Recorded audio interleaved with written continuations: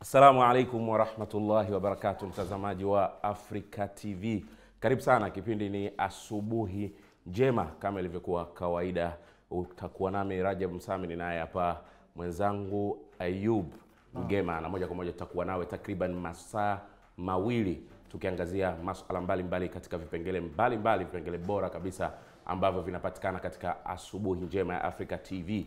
Kama ilivyokuwa ada, tutakuwa na kipengele cha Uislamu mitandaoni, ambapo tutaangazia masuala mbalimbali ambayo yamewekwa katika mitandao ya kijamii yenye uhusiano wa moja kwa moja na dini yetu ya Kiislamu mm. Lakini pia tutakuwa na kipengele cha faidika, kama ilivyokuwa ada, kipengele ambacho kinahakikisha wewe mtazamaji unafaidika kwa kupata elimu juu ya masuala mbalimbali, na leo tutakuwa tukiangazia eh, ni namna gani mzazi anaweza akachangia katika maendeleo ya taaluma ya mtoto wake hususan katika kipindi hichi cha likizo ya ghafla ambayo imesababishwa mm. na janga la virusi vya korona. Lakini katika meza ya sheria tutakuwa naye Sheikh Ibrahim Ghulam leo tukiangazia eh, wajibu wa mke kwa mumewe. Nikusihi tu haya na mengine mazuri tutakuwa nayo hapa katika asubuhi njema ya afrika TV. Nikusihi ufuatilie kipindi hichi mwanzo mpaka mwisho ili uweze kujifunza mengi. Tupate mapumziko mafupi sana. Tukirejea moja kwa moja, tutaelekea katika Uislamu mitandaoni, tuangalie huko nini kimezungumziwa. Said Salim Bakhresa Company Limited ina nia si tu ya kukidhi mahitaji yako, lakini kwenda zaidi ya matarajio yako na kusambaza bidhaa zenye kiwango cha juu kwa bei nafuu.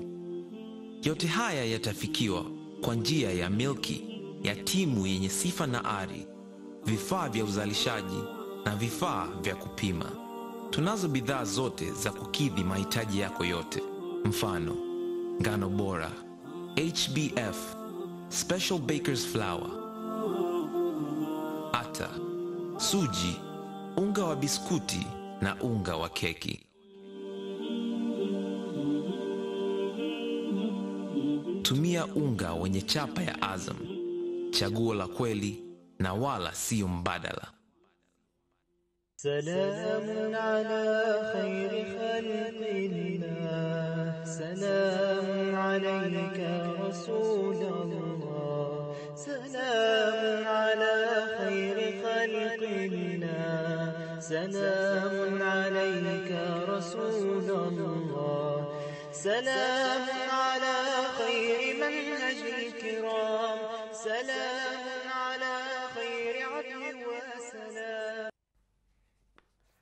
Na mtazamaji, karibu tena baada ya mapumziko hayo mafupi. Ni Uislamu mitandaoni, sasa tukiwa tunaangazia katika kurasa mbalimbali mbali za mitandao ya kijamii e, tukiangazia posta ambazo zinazungumzia masuala ya dini ya Kiislamu moja kwa moja. Na kwa kwanza, kama ilivyokuwa ada, tutaanza na mitandao ya Facebook. Katika mitandao ya Facebook kuna masuala mbalimbali yamezungumzwa. Juma lililopita tuliona posti nyingi ambazo zimepostiwa katika mitandao ya kijamii zilikuwa zikijikita zaidi kutokana na uh, janga zima la virusi vya vya korona. Bado hali iko hivyo, lakini sio sana, kwa sababu pia kuna masuala mengine ambayo yanahusiana moja kwa moja dini ya Kiislamu ambayo yamewekwa katika mitandao mbalimbali mbali ya jamii. Sasa moja kwa moja, kwa kwanza tunaanza na mtandao wa Facebook ambapo Facebook katika ukurasa wetu wa Africa TV 2 no. kuna post ambayo imewekwa ya Facebook inayosomeka tuna masiku machache kuelekea mwezi wa ibada na mwenye kuzidi, na wenye kuzidi ujira wa kila ibada maradufu ya miezi mingine. Ewe Mola wetu tufikishe. Alafu hashtag pare Ramadhan mm. hashtag Africa TV 2 na ilikuwa ni post ambayo imewekwa Jumamosi no. eh, ikisoma kuwa ilikuwa ni Shaban nne.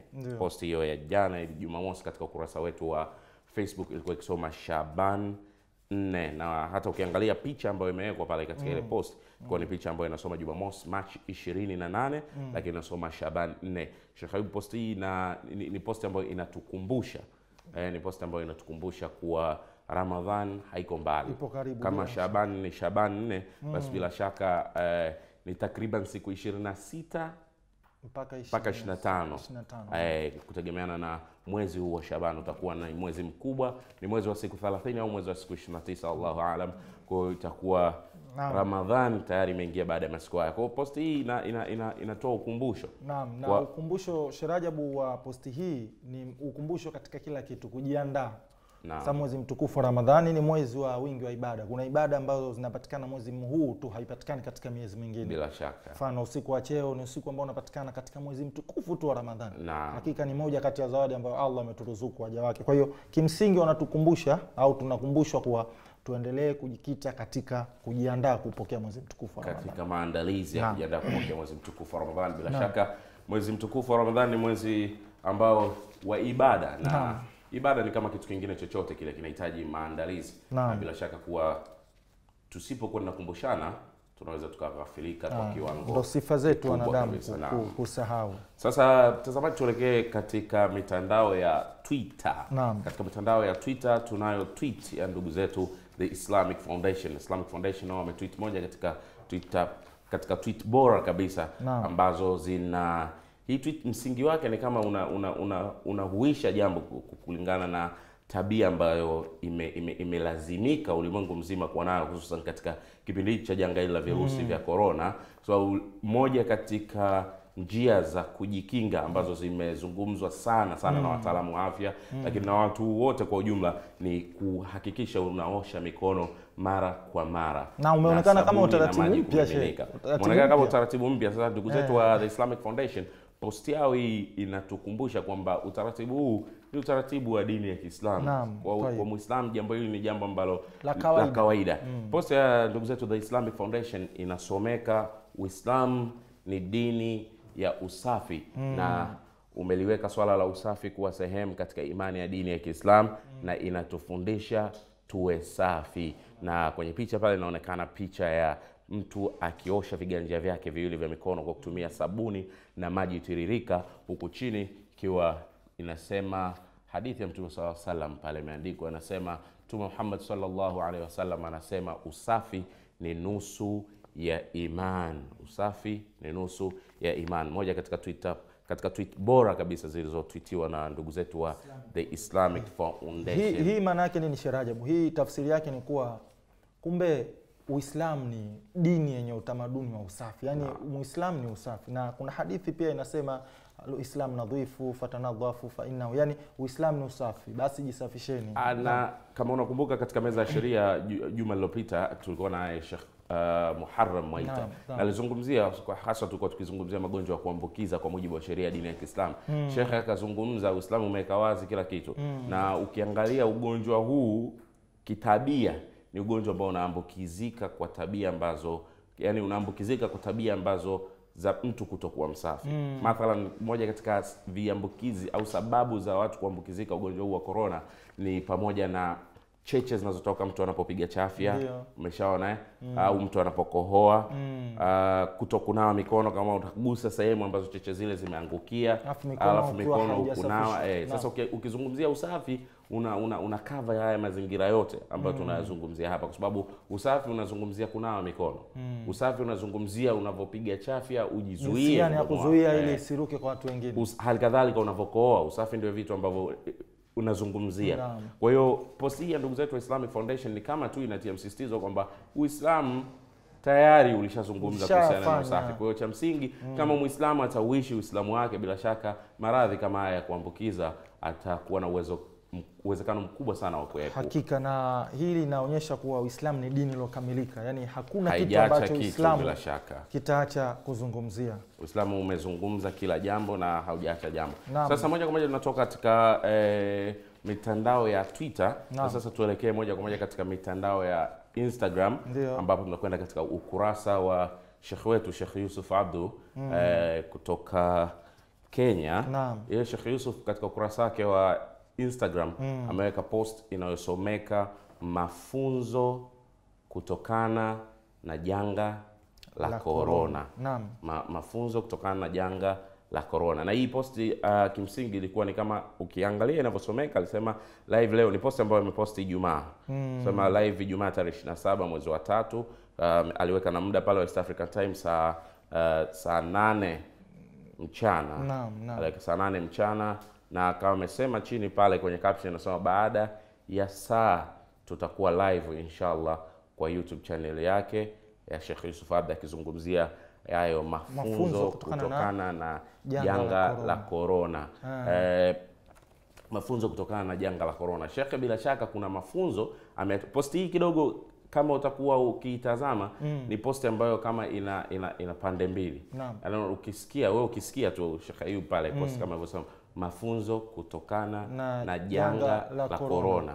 Sasa katika mafunzo kutokana na janga la korona mm. ipo ni kama tata, yani kwamba mafunzo ama mafunzo tunayoyapata kutokana na janga la corona ama shekhe alikuwa anazungumza kwamba yeye anatoa mafunzo kutokana na Eh, bila na- shaka nimekuelewa nime- Sherajabu. corona. eh. kuna kuna kauli tata hapa, mafunzo kutokana na janga la corona. Yaani hili janga lilivyotokea kuna mafunzo Kuna au mafunzo jamii imepatikana. Nimekuelewa hapo al-akhi, nimekuelewa vizuri sana. au kwamba shekhe yeye mm. anatoa mafunzo, Mafunzo sasa kwetu sisi kwetu sisi kutokana na, na, na janga la corona. Hiyo ilikuwa ni Ijumaa, posti hii shekhe alipost toka Ijumaa tarehe ishirini na saba mwezi wa mwezi huu. tatu. Na- ni juzi tu. Ijumaa juzi anasema ana- ana- anaelezea jambo na tunajaribu kumtafuta hewani Sheikh Yusuf Abu. Eh, mawasiliano atakapokaa sawa tutaungana tuta- tuta- naye hapa live moja kwa moja ili aweze kutufafanulia kidogo eh, sisi ambao hatukupata bahati ya kujiunga naye live katika Naam. channel yake ya YouTube kusikiliza haya mafunzo haswa yalikuwa yanazungumzia nini. Yalikuwa ni mafunzo ambayo yana make post ukisoma kama tulivyozungumza hapa kuwa mafunzo kutokana na janga la corona. Sasa je, ni mafunzo ambayo yeye anayatoa Au au mafunzo ambayo yamepatikana? Lakini mimi hii. mimi Sheikh Ayubu na nadhani mm. yani kubahatisha kwangu kunaangukia zaidi kuwa ni mafunzo anavyosema mafunzo, kwa sababu nikiangalia kwa Kiswahili mm. Kiswahili hichi kina kinaangukia kwamba ni mafunzo kutokana na janga la Corona. corona, yani mafunzo yaliyopatikana kutokana Na na janga la corona. Na bila shaka tukimpata itakuwa Tukimpata itakuwa kheri na, na bila shaka tunaendelea kumtafuta mtazamaji.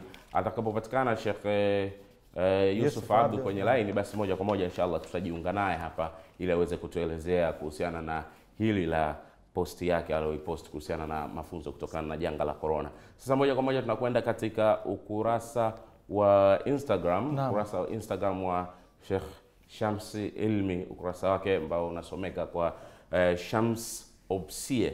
Katika ukurasa wake yeye kuna post alipost, na hii ilikuwa ni post ambayo ni, ni, ni post ya posters, ni post ambayo inazungumzia eh, kama tangazo la hutuba mm. tangazo la hutuba ya Ijumaa. eh, tangazo la hutuba ya Ijumaa mm. na ilikuwa ni post ambayo inazungumzia mada, anasema kutangaza jihad dhidi ya corona. Wanazungumzia kutangaza jihad, dhidi ya ugonjwa wa korona na corona na ukisoma katika posti yake kuna tanbihi shekhe ameiweka chini mm -hmm. ameweka tanbihi ameweka tanbihi chini inayosomeka kila mtu achukue udhu kwake il, Ila ila, kwa, kwa dharura, dharura tunashauri watoto wadogo na na akina mama waswalie nyumbani. nyumbani.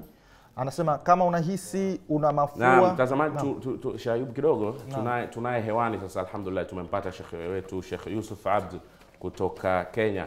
Shekhe, salamu alaikum warahmatullahi wabarakatuh. Naam, Shekh Yusuf Abd, assalamu alaikum.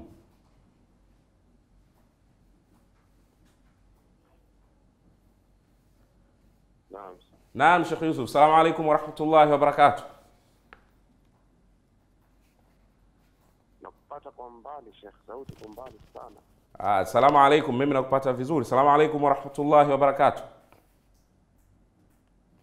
Hello, Halo? Halo? Naam, Sheikh Yusuf Abdu. ni kama kuna tatizo kidogo, sisikiliki kitu. Ah, mimi na nakusikia vizuri. Halo, salamu alaikum. Naona uh, mawasiliano kidogo kidogo ya, ya kimtandao. ya kimtandao hayako sawa mm. lakini inshallah tutakapo mawasiliano atakapokaa sawa basi moja kwa moja mtazamaji tutapata eh, fursa hiyo. tutapata fursa hiyo tena ya kurudi kwa Sheikh Yusuf Abdul ili tuweze kuzungumza naye kuhusiana na kile alichokipost katika ukurasa wake wa Instagram kuhusiana na tunayo mafunzo kutokana na janga la corona. Mtazamaji, tulikuwa tunazungumzia post ambayo imepostiwa pia na Sheikh Shams. Shams Ilmi eh, katika ukurasa wake wa Instagram. na ulikuwa kuna kuna tanbihi pale kidogo na una Eh, kuna kuna tanbihi katika posti yake ile. Tanbihi ilikuwa inasomeka kila mtu achukue udhu kwake, ila kwa dharura tunashauri mm. sema watoto wadogo na akina mama waswalie nyumbani, mm. na akasema kama unahisi una mafua na kikohozi cha mara kwa mara, swalia nyumbani. Eh, kama una mswala wako bora uje nao. Naam, ni katika ni katika tahadhari na katika tahadhari nzuri sana hapa chini kwenye tanbia alosema na mimi haswa moja katika sababu zilizonipelekea kuichagua posti hii ya Sheikh eh, Shamsi Ilmi ni ilikuwa ni posta hii ilikuwa ni posta ya hutuba ya Ijumaa. Ambayo alikuwa nasa hutuba yake Ijumaa akawa ameweka mada kwamba anazungumzia kutangaza jihad. dhidi ya corona. Kwa hiyo kwa wale ambao hatukupata fursa, kwa sababu hotuba hii Sheikh tunafahamu yeye ni mwenyeji wa mkoa wa Iringa na harakati zake za dawa zimejikita zaidi katika mkoa wa Iringa, japo anafanya dawa eh, Tanzania nzima na nje ya mipaka ya Tanzania pia. Sasa, sasa. Lakini kwa, katika hotuba hii alikuwa katika mmoja ya misikiti mkoani Iringa huko. Sasa kwa sisi ambao hatukupata eh, nafasi ya kuhudhuria au kuwepo katika hotuba hii, basi tutapata nafasi pia ya ku- ku- kuzungumza na Sheikh Shamsi Ilmi kwenye simu moja kwa moja ili tuweze kutuelezea kuhusiana na ku- ku- ku- ku- kuhusiana na na hili ambalo hey, amelizungumzia. Tulikuwa tunazungumzia kuhusiana na, na, na, na, na, na tanbihi ambayo imetolewa. Sheikh ametoa tanbihi ya, ni jambo moja la msingi sana na tukilizingatia mm. lina, linaweza likatuepusha sana na maambukizi ya maradhi ya, ya virusi vya korona hasa katika nyumba zetu za ibada, yani misikiti, kwa sababu shekhe anasema ukichukulia udhu nyumbani itakuwa bora. inakuwa bora kwa sababu kwanza unaweza ukaenda katika misikiti, baadhi ya misikiti koki, sababu koki unafungua so na, na, na misikiti mingine sio kwamba kote kuna sabuni na basi zile yani ule zi, shaka shaka zile utakuwa umezitoa kwa sababu utakuwa umetia udhu nyumbani kwako, ukija moja kwa moja unaingia kuswali. Na katika tanbihi yake, moja kati ya vipengele ambavyo nimevipenda katika ukumbusho wake, anasema watoto wadogo na akina mama Waswalie waswalie nyumbani. nyumbani. Yani Eh, hakuna ulazima wa kuweza kufika misikitini kama unavyozungumza. Misikiti yetu tuna swali, lakini kuna misikiti mingine si bomba tu koki. Kuna misikiti mm. shekhe, tunatumia kata, wanaita nini ile, unachota Eh, hiyo kata kata. Kwa hiyo bila shaka ni moja kati ya na akatoa bado msisitizo hapa kusema kuwa uh, kama unajihisi una kikohozi cha mara kwa mara au mm. una mafua, pia ni bora ukaswalia nyumbani, kwa sababu huwezi kujua. Na msingi wa hili ni pale tu hata wataalamu wa afya walivyoshauri kwamba kama utajiona na hizo dalili zote, ni bora kwanza ukaanza kujitenga mwenyewe na watu, lakini pia ukaenda kituo cha afya ili uweze kupata vipimo zaidi mm. na uweze kujua. Sasa ukiangalia tabii hii ambayo anaitoa Shamsi Ilmi kwamba kama unahisi una dalili hizo mafua au kikohozi, ni bora ukaswalia nyumbani. Lakini pia katika tanbihi nyingine anasema kama una mswala wako Ubebe. basi ni bora ubebe mm. kuja nao, kwa sababu ukiwa na mswala wako ukitandika pale wewe ambapo utaswalia, maana yake utasujud kwenye mswala wako pale na utakuwa ni kimsingi tu, tu, tuendelee kumwomba Mungu kwa sababu na ugonjwa unataka kututoa katika tamaduni zetu tulizozoea. Kabisa, kabisa. Yaani unataka kututoa njiani kabisa. Juma lililopita hapa tuli, tuliangalia post ya Sheikh Yusuf Abdul alisema hu- corona virusi vya corona ni kiumbe na kuna muumba. Kwa hiyo bila shaka Allah ndiye uh, muumba wa kila kitu. Tuendelee kumlilia tuendelee yeye. kumlilia yeye ili eh, aweze kutuepusha na tuondolee janga hili la virusi hivi vya corona. Mtazamaji, ya tu, tutajiunga na Sheikh Shams Ilmi muda si mrefu kwa ajili ya kuweza kuzungumziana naye kuhusiana na hichi ambacho amekipost. Mm. Eh, alikuwa anamaanisha nini haswa alipozungumzia kutangaza jihad jihad eh, dhidi ya corona eh, Bila shaka itakuwa ni, ni, ni, ni jambo kubwa, ni itakuwa ni, ni na, na, kwa- na mimi nikwambie tu kwa namna virusi hivi au ugonjwa huu ulivyo, bila shaka unahitaji tutangazie jihad Mm. tutangazie jihad. Sijui yeye shekhe, uh, anwani yake hii katika Kalenga katika hotuba yake amelenga gani? katika mlengo gani? Lakini yani kuna mimi naitazama kwamba kuna haja ya kutangaza jihad na ugonjwa huu. Kwa sababu gani? Kujikinga kwake ni, ni, ni kitu ambacho kinahitaji jitihada kwanza sisi wenyewe, mm. kwa sababu ndio kama hivyo, kuna watu wa kuzoea ha- hawakuzoea tamaduni hizi za kuosha mikono mara kwa mara tumezoea akiosha mkono anakula umeona eh?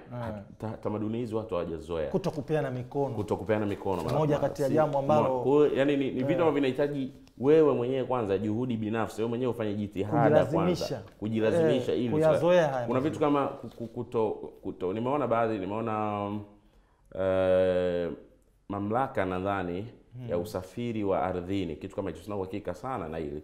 Wametoa katazo la katika usafiri wa umma hususan daladala mm. eh, katika nchi ya Tanzania kuhusiana na daladala kujaza abiria yes, wanataka yule level city. wanataka level city. Sasa ni moja kati ya vitu ambavyo kimsingi vinahitaji jitihada sisi wenyewe, kwa sababu mara nyingi tunajua njia zetu asubuhi Mm. mabasi yanakuwa ni machache, abiria ni wengi Mm. kwa bila shaka kila mtu anataka awai. Kwa kusema mimi gari naiona Mm. kusi, imeshajaa level nisipande nisipande. na ninahitajika niwahi. Kwa hiyo ni, ni kitu ambacho kiukweli ni jitihada binafsi hata, hata kwa, kwa, kwa watendaji kwa konda na dereva maanake wanakwambia kuna hela ya watu kuna Eh, ya kwa ni- bosi Kwa yani kimsingi ndio mimi Mm.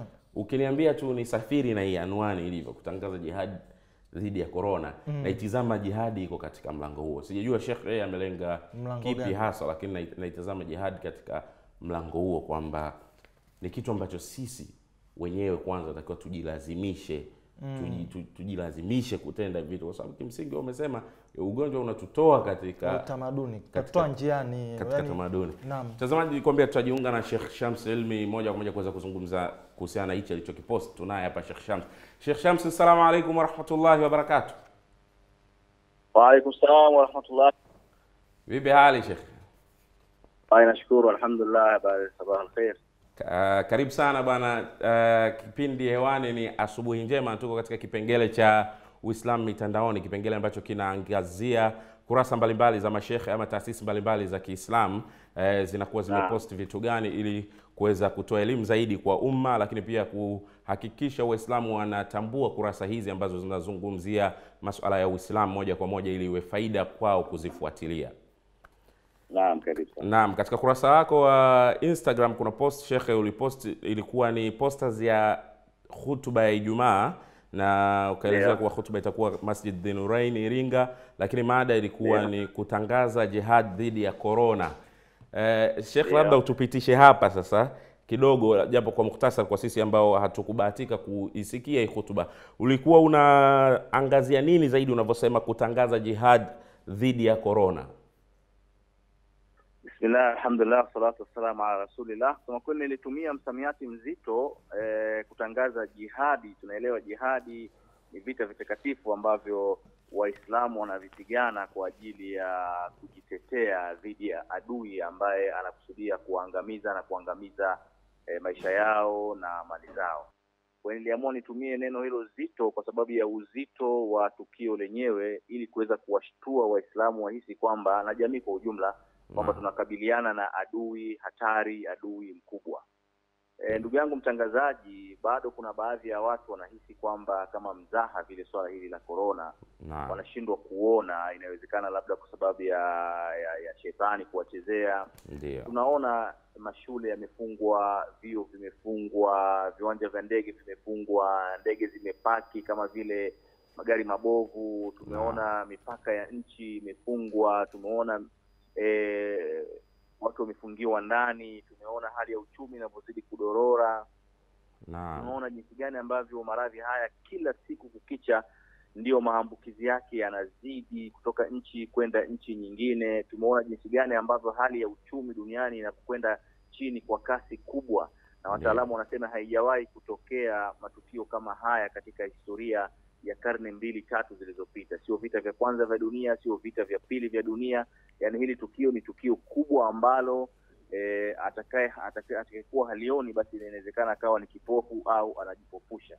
Kwa hiyo ni tukio kubwa ambalo linahitaji jihadi ya nafsi, kwa maana ya kwamba watu kuacha yale mazoea waliokuwa nayo e, kwe, watu ku- mazoea yani mazoea ya kawaida, kusalimiana, kukusanyika katika maeneo mbalimbali ya ibada, inawezekana yakafungwa.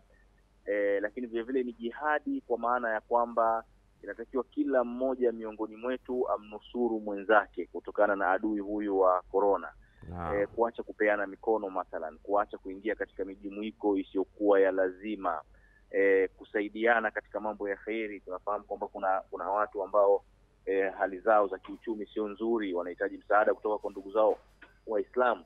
Kwa hiyo kwa ujumla ni ugonjwa ambao unahitaji tusimame pamoja, safu moja, kupambana dhidi ya maradhi haya. Kinyume cha hivyo, kusema kweli, eh, itakuwa ni hatari kubwa na tunaweza eh, tukapoteza eh, roho za wapendwa wetu nyingi sana katika jamii kama hatutazinduka na hatutasimama pamoja na hatutaelimishana na kuambiana ukweli kuhusiana na hatari ya maradhi haya ambayo yamekuwa ni tishio kwa kila mwanadamu. Leo sisi wote tunaotembea katika mgongo wa ardhi ni sawasawa na virus, yaani unamwogopa una, una mwenzako, unaogopa kukaa naye karibu, unaogopa kumpa mkono, watu wanaogopa kuwakumbatia mpaka watoto wao.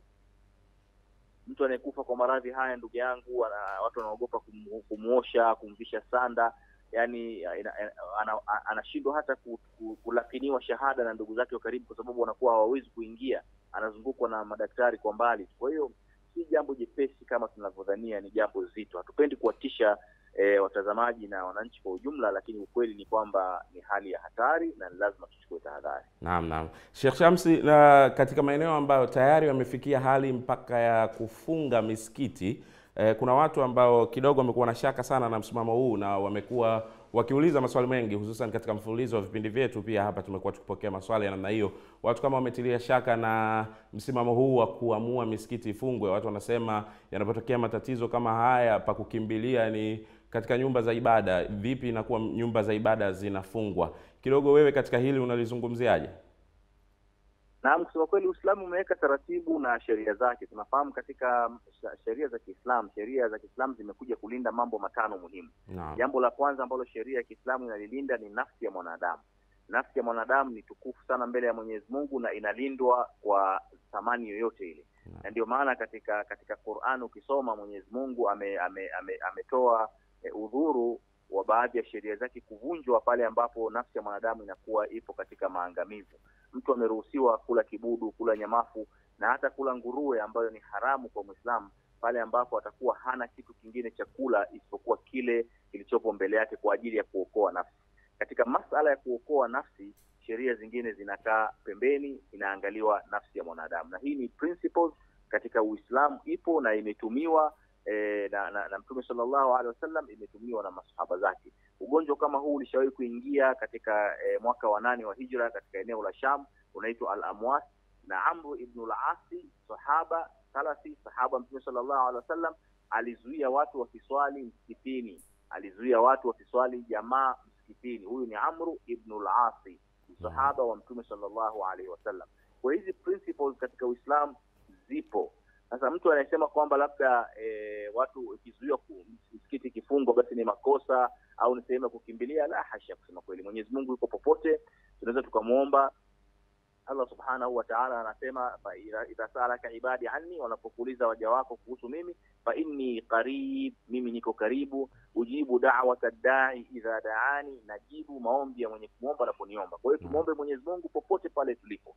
Hii ni udhuru, na Mtume sallallahu alaihi wasallam ametukataza kwamba la darar wala dirar, hakuna kudhuru wala kudhuriana, na vile vile akatukataza katika hadithi nyingine, haifai kwa mtu mgonjwa kuingia katika kundi la watu ambao ni wazima, na tunafahamu vile vile mafundisho ya Mtume sallallahu alaihi wasallam kwa ndugu zetu wale waliokuwa wamekula vitunguu na wakaja kuswali msikitini, waliwaudhi Waislamu kwa, kwa harufu ya mdomo, na Mtume sallallahu alaihi wasallam akawaambia, hebu tokeni msikitini mkaswalie nje, kwa sababu msiwaudhi Waislamu kwa harufu ya mdomo. Ikiwa yote haya yametokea leo, mtu yeye ana virus mgonjwa, au anawezekana akawa na virus ana, tunalazimisha vipi aje msikitini kuwadhuru watu ambao inawezekana wakawa na afya njema, na kwa sababu hatuwajui ni nani ana virus na hatuna vipimo vya kujua nani ana virus, basi inapotokea mamlaka zikasema kwamba swala ya jamaa watu wasiswali, basi hiyo inakuwa ni hukumu ya kisheria, na sisi inakuwa ni wajibu wetu kuitii hukumu hiyo bila kuleta e, falsafa au kuleta mizunguko ya aina yoyote. Shukran sana Sheikh eh, Shams Ilmi kwa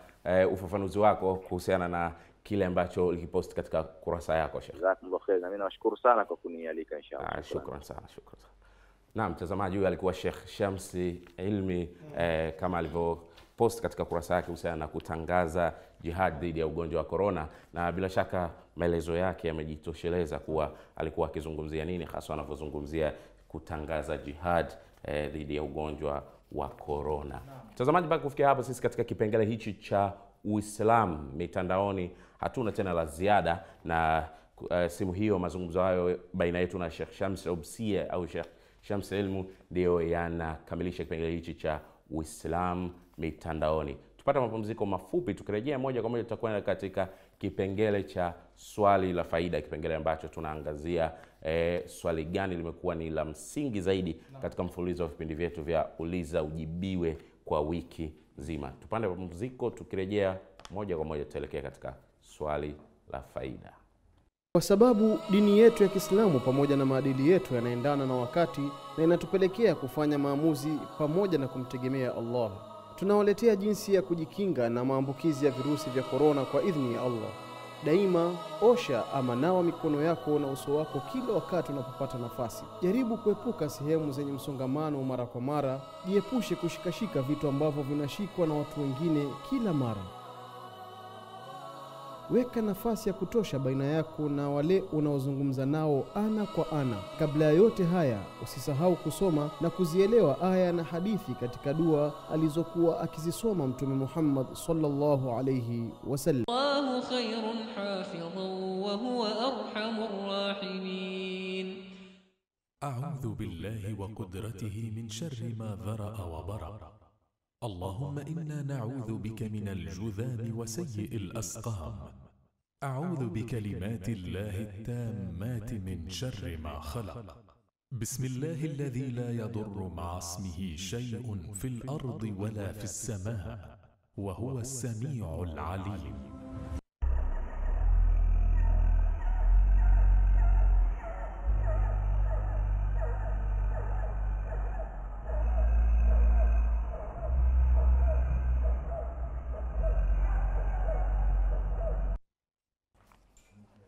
Naam, mtazamaji, karibu tena baada ya mapumziko hayo eh, mafupi, na sasa moja kwa moja tunaingia katika kipengele cha swali la faida. Kama nilivyokueleza awali, ni kipengele ambacho tunaangazia katika mfululizo wa vipindi vyetu vya uliza ujibiwe kwa wiki nzima. Ni swali gani ambalo linakuwa ni swali la msingi zaidi ambalo tuki lirejea tena kwa kulisikiliza na kulizungumza kidogo hapa, basi itakuwa ni mazingatio makubwa sana kwa watazamaji wetu, ama walioona itakuwa ni msisitizo kwao, lakini kwa ambao walikosa kutazama kipindi hicho basi itakuwa ni faida zaidi kwao. Na katika wiki hii swali la faida uh, linatoka kwa dada yetu Ummu Muhammad kutoka Kondoa. Yeye yeah, aliuliza swali uh, katika kipindi cha uliza ujibiwe, na kipindi ambacho alikuwa Sheikh Ibrahim Ghulam aliuliza swali na kimsingi sisi tumeliona kama swali la faida, kwa sababu swali lake limejikita katika kipindi hiki cha janga hili la virusi vya korona ulimwenguni. Eh, swali lake linahusiana na sanitizer sanitizer hizi ambazo watu wanatumia kunawa kuua virus, eh, virus wala- kuua virus. Naam. Zungumze sana, tusikilize kwanza swali lake alafu tutarejea. Swali la pili, sasa hivi tunajua kwamba kuna huu ugonjwa wa corona. Sasa kuna baadhi ya hizi sanitizer zina alcohol, unaweza ukaambia zina alcohol ya asilimia sitini, alcohol ya asilimia sabini. Je, kuzitumia hizo sanitizer ni haramu kwa sababu ndani yake kuna pombe? Ah, sanitizer. Naam. Naam, hilo ndio swali la dada yetu umu Muhammad kutoka Kondoa, ambayo yeye alikuwa anauliza kuhusiana na sanitizer. Sanitizer uh, kwa mujibu wa maeleke, hata maelekezo tu ya, ya, ya ya uh, wataalamu wa afya wanaelezea kwamba sanitizer zi, zenye kiwango cha alcohol kuanzia asilimia 60 ndio zinakuwa na uwepesi zaidi wa kuua vijidudu katika mikono. Kwa hiyo dada yetu aliuliza hizi sanitizer zina kiwango cha alcohol. Alcohol ni pombe, na kwa mujibu wa mafundisho dini ya Kiislamu pombe ni haramu. Sasa swali lake kwa shekhe akawa anauliza vipi eh, hukumu ya hili jambo katika ku, ku, ku, kutumia hivi vitu eh, katika kunawa mikono vipi? Swala hili limekaaje kwa mujibu wa sheria ya dini ya Kiislamu? Jambo hili likoje? Na shekhe akatoa majibu. Majibu ya shekhe yalikuwa yako wazi, na moja kati ya sababu pia ambazo zilifanya tu- tuchague swali hili kama swala la faida ni kutokana na majibu ya shekhe aliyoyatoa na ufafanuzi, maanake ulikamilika sasa ufafanuzi kuhusiana na swala hili la sanitizer, kwa sababu bila shaka sanitizer ni kitu ambacho kinatumika sana hususan kwa kipindi hiki cha virusi. hivi.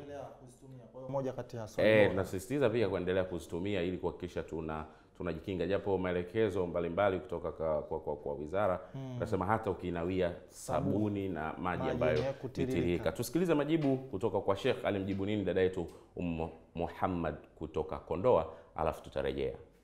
e, swala zima la hii e, haya hivi vi- vioshaji maji ambayo vinavyotumia vi- vinavyotumia vinavyotumika kwa ajili ya kuosha kujikinga na, na korona na ambavyo uh, vinakuwa vina mchanganyiko wa alkoholi kwa, kwa kiwango fulani, kwamba je, kutumia vitu hivi ni, ni haramu?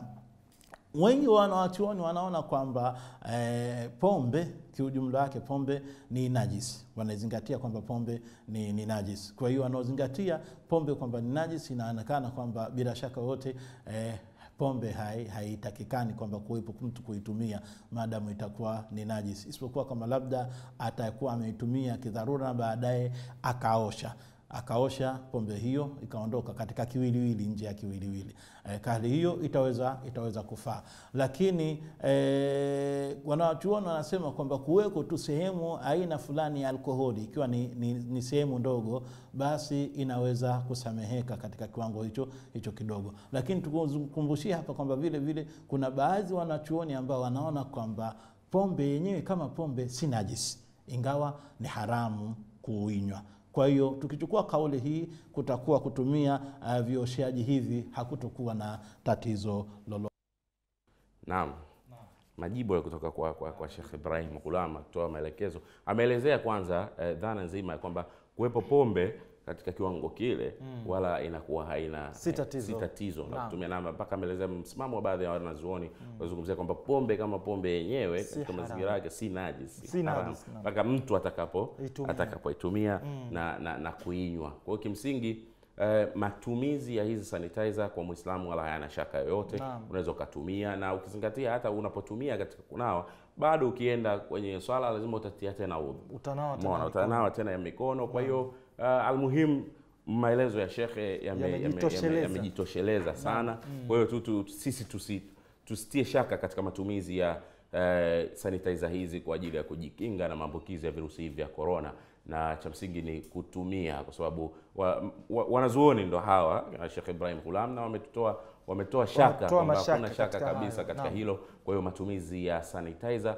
hakuna shaka na mtazamaji usiache kuendelea kutumia eh, sanitizer kwa ajili ya kusafisha mikono yako ikiwa ni hatua za kujilinda na maambukizi ya virusi hivi vya ugonjwa huu wa korona Naam. na hilo mtazamaji ndio lilikuwa swali letu la faida wiki hii swali ambalo liliulizwa na dada yetu ummu muhammad kutoka kondoa dodoma tanzania. Swali bora kabisa ambalo lilikuwa linauliza kuhusiana na matumizi ya sanitizer ambazo zinakuwa na vilevi. Mpaka kufikia hapo kipengele hichi cha swali la faida eh, kinakuwa kimegota na swali hilo la dada yetu ume muhammad ndio lilikuwa swali letu la faida. Eh, tunakwenda mapumziko tukirejea tutakwenda moja kwa moja katika faidika. Na faidika leo nilikueleza awali tutakuwa naye ndugu yetu brother kasim ibrahim. Yeye ni mchambuzi mtafiti wa masuala ya taaluma lakini pia ni makamu wa rais wa tamsia.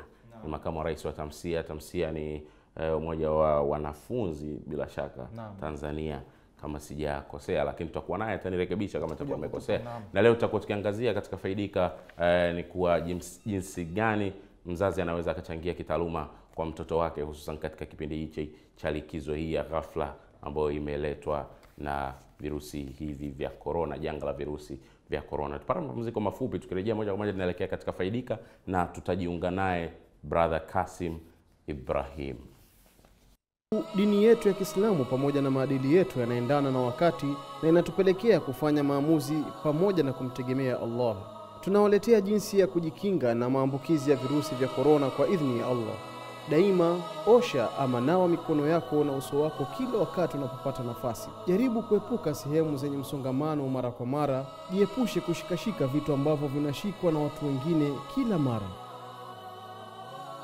Weka nafasi ya kutosha baina yako na wale unaozungumza nao ana kwa ana. Kabla ya yote haya, usisahau kusoma na kuzielewa aya na hadithi katika dua alizokuwa akizisoma Mtume Muhammad sallallahu alayhi wasallam. Allahu khairun hafidhan wa huwa arhamur rahimin. A'udhu billahi wa qudratihi min sharri ma dhara wa bara اللهم إنا نعوذ بك من الجذام وسيء الأسقام. أعوذ بكلمات الله التامات من شر ما خلق. بسم الله الذي لا يضر مع اسمه شيء في الأرض ولا في السماء. وهو السميع العليم.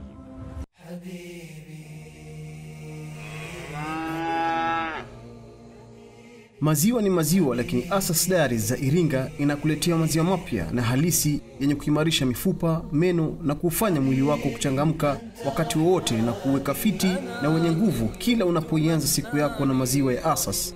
Maziwa ya Asas sasa yanapatikana katika ladha tofauti tofauti kama vile strawberry, chocolate, vanilla pamoja na kofi.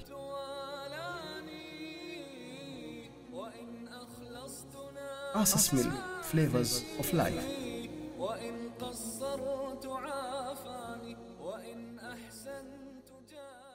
Said Salim Bakhresa Company Limited ina nia si tu ya kukidhi mahitaji yako, lakini kwenda zaidi ya matarajio yako na kusambaza bidhaa zenye kiwango cha juu kwa bei nafuu.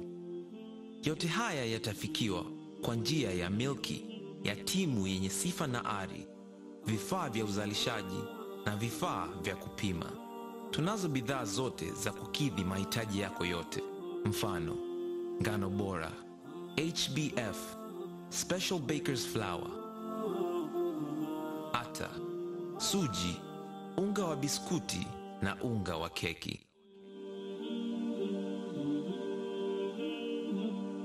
Tumia unga wenye chapa ya Azam, chaguo la kweli na wala siyo mbadala.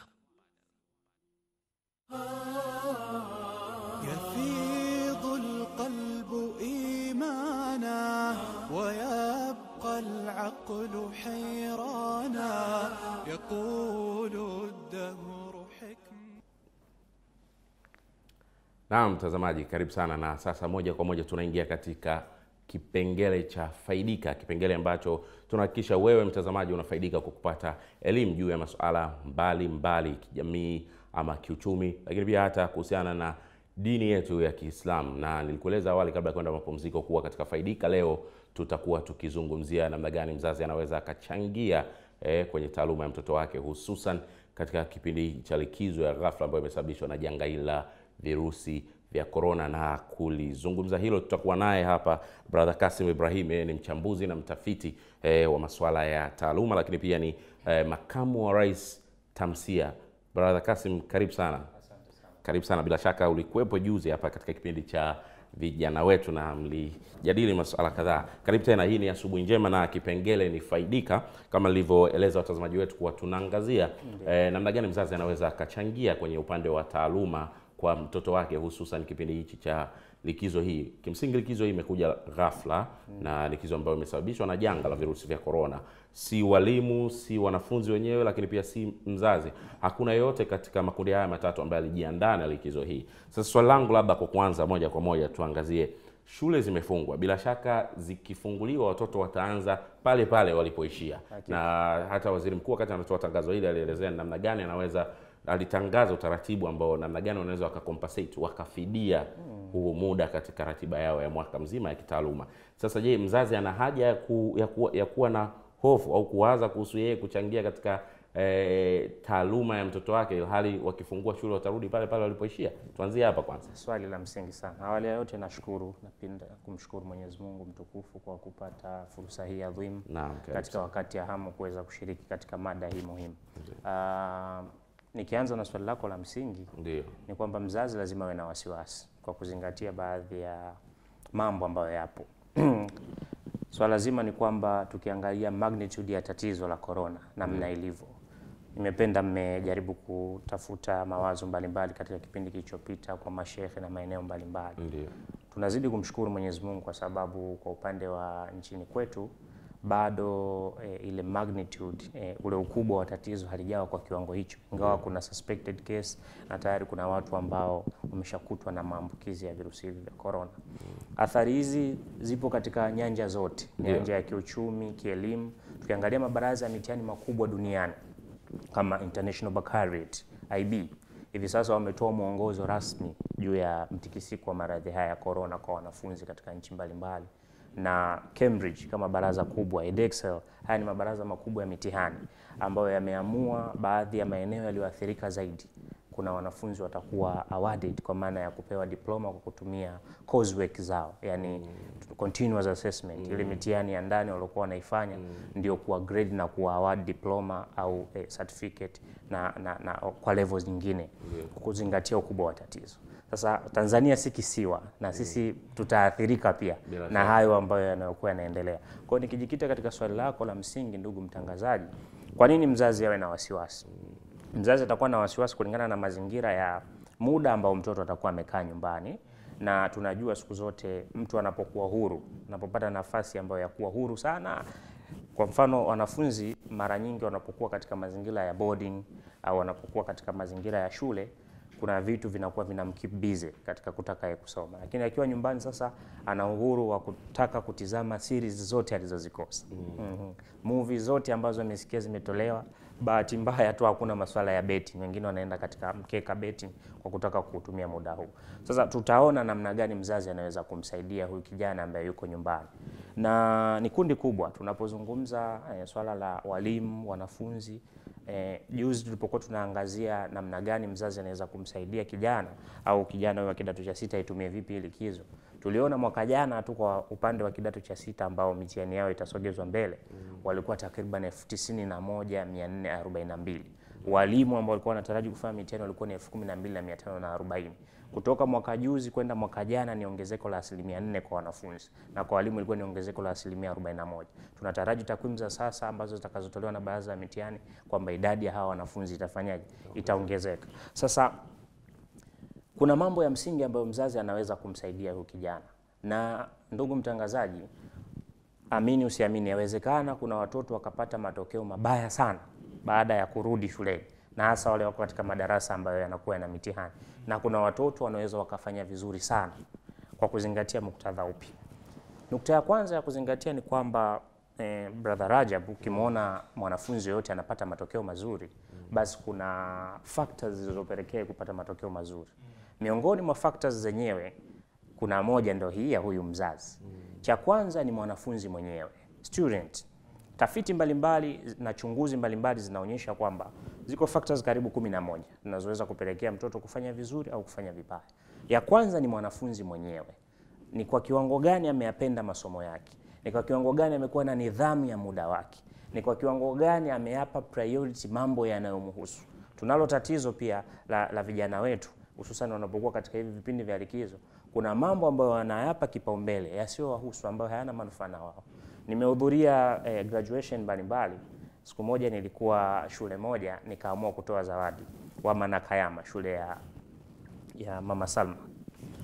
Nilipo niliuliza swali very simple question, ilikuwa ni graduation ya kidato cha sita. Nikawaambia mwanafunzi atakayeweza kunitajia magazeti manne au magazeti matatu ambayo serikali ya Jamhuri ya Muungano wa Tanzania inatumia kutoa taarifa zake, nitajie tu kwa kumesha Hakuna mwanafunzi hata mmoja aliweza kuchukua ile shilingi elfu hamsini.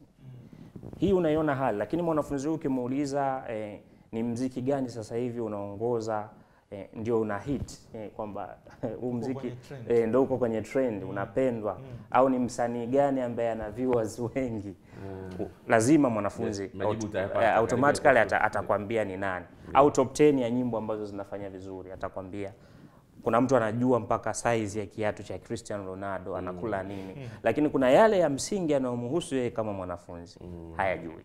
Sasa- Sasa katika miongoni mwa vitu vitakavyoweza kupelekea mwanafunzi kufanya vizuri kuna yeye mwenyewe, na hapa kuna ah, kuna aina mbili za wanafunzi waliofanikiwa. Kuna mwanafunzi anaitwa active learner na kuna mwanafunzi anaitwa strategic learner. Active learner ni mwanafunzi ambaye ana catch up, akifundishwa tayari amefahamu, anajaribu kusaturnize, anakifanyia kazi kilichokipata. Lakini strategic learner ni katika wanafunzi pia waliofanikiwa, yeye anasoma kimkakati na anakuwa na mambo matatu. Cha kwanza eh, anakuwa na skill, anakuwa na study, mbinu mbalimbali za kusoma, yani technique mbalimbali za kusoma, na hizo sasa anaweza akazitumia kipindi hiki cha likizo. Ya pili ni will, kuwa na nia, utashi au ghera ya kutaka kufikia kitu fulani. Kwa hiyo lazima atengeneze mpango mdogo, atengeneze mpango wa siku, mpango wa wiki. Lazima awe na kitu kinachoitwa to do list. Akiamka asubuhi, lazima atakuwa na mpango wake. Kuanzia asubuhi ya leo nitakunywa chai, saa nne mpaka saa tano tasoma saa sita tapumzika, saa saba tafanya activity fulani, saa nane tafanya mazoezi. Anakuwa na to do list, na ni miongoni mwa vitu ambavyo wazazi wanatakiwa kuwasisitiza vijana wao kuwa na, na, na, na list to do au to do list. Kama mtoto atakosa hiyo, maana yake anakuwa eh, ni mtu ambaye yuko huru, yani ratiba yake ya siku haieleweki.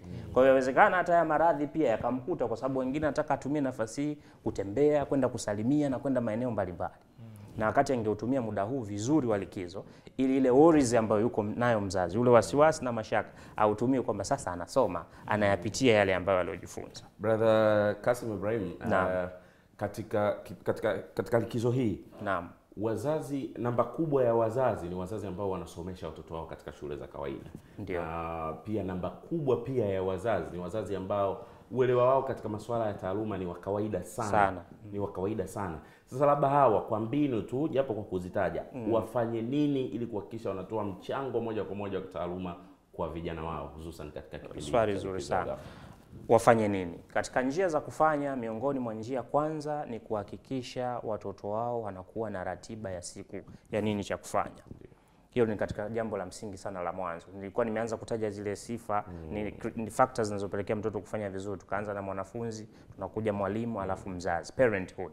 Kwa maana mzazi anayo nafasi kubwa ya kumtia moyo kijana wake. Kuna tafiti moja ilifanyika na watu wa Harvard University, moja katika university bora duniani. Wao walikuwa wameangazia njia ambazo mtu e, mzazi anaweza kuchukua kumbadilisha mtoto tabia. Walizi, waliziweka katika makundi ya njia kumi na moja. Miongoni mwa njia hizo e, Profesa Mujahid, moja katika wataalamu na watafiti, mwalimu wetu yuko Kenya, yeye aliziweka katika neno influence. Ni ile neno influence limebeba tafiti yote, kwa maana AI stand for intimacy.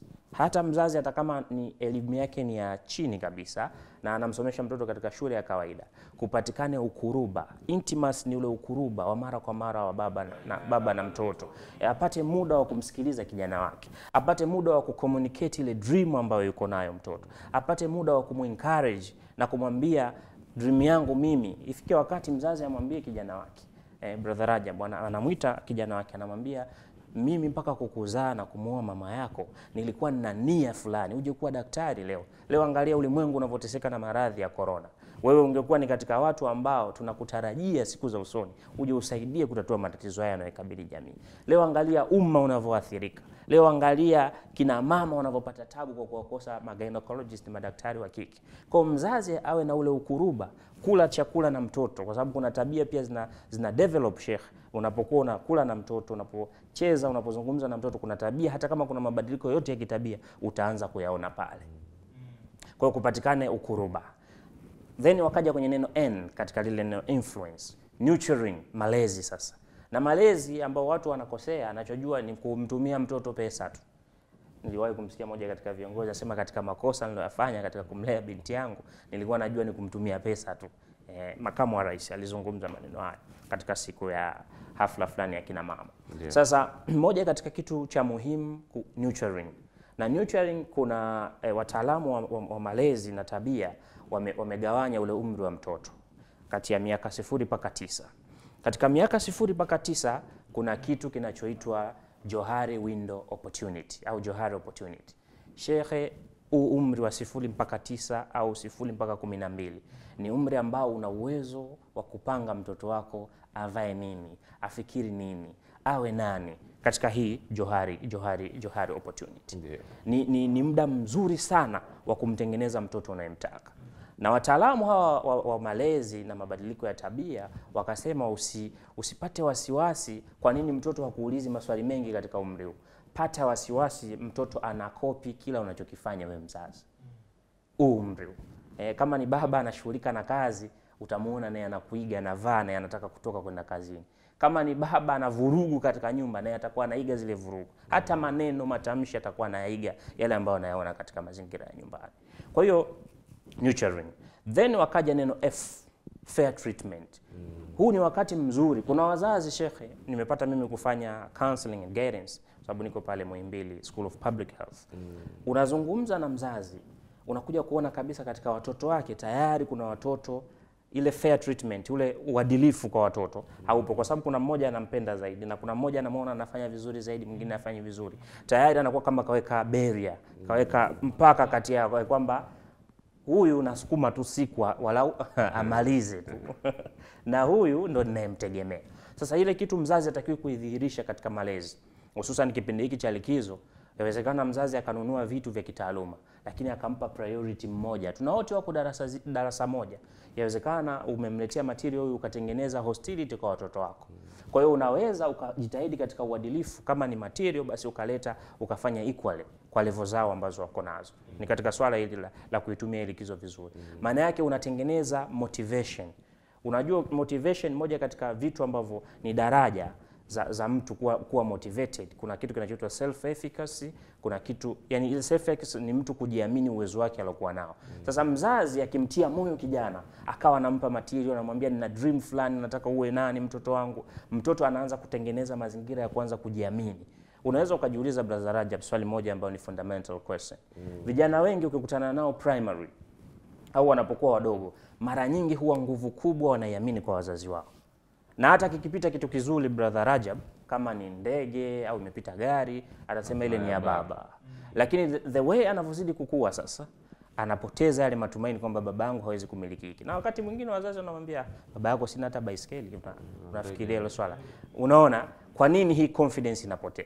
Au mwanafunzi anapojoin form 1 mara nyingi huwa anakuwa na fikra kwamba mimi nitakuwa wa kwanza kama hiyo hali unaiona, anakuwa na spirit hiyo, lakini kadri anavyozidi kupanda hayo madarasa Inapotea. ile ndoto inapotea. Mwingine anapofika form 5 kachaguliwa PCB au PCM mm. au eka, anakuwa na ndoto kwamba I'm going to score division 1.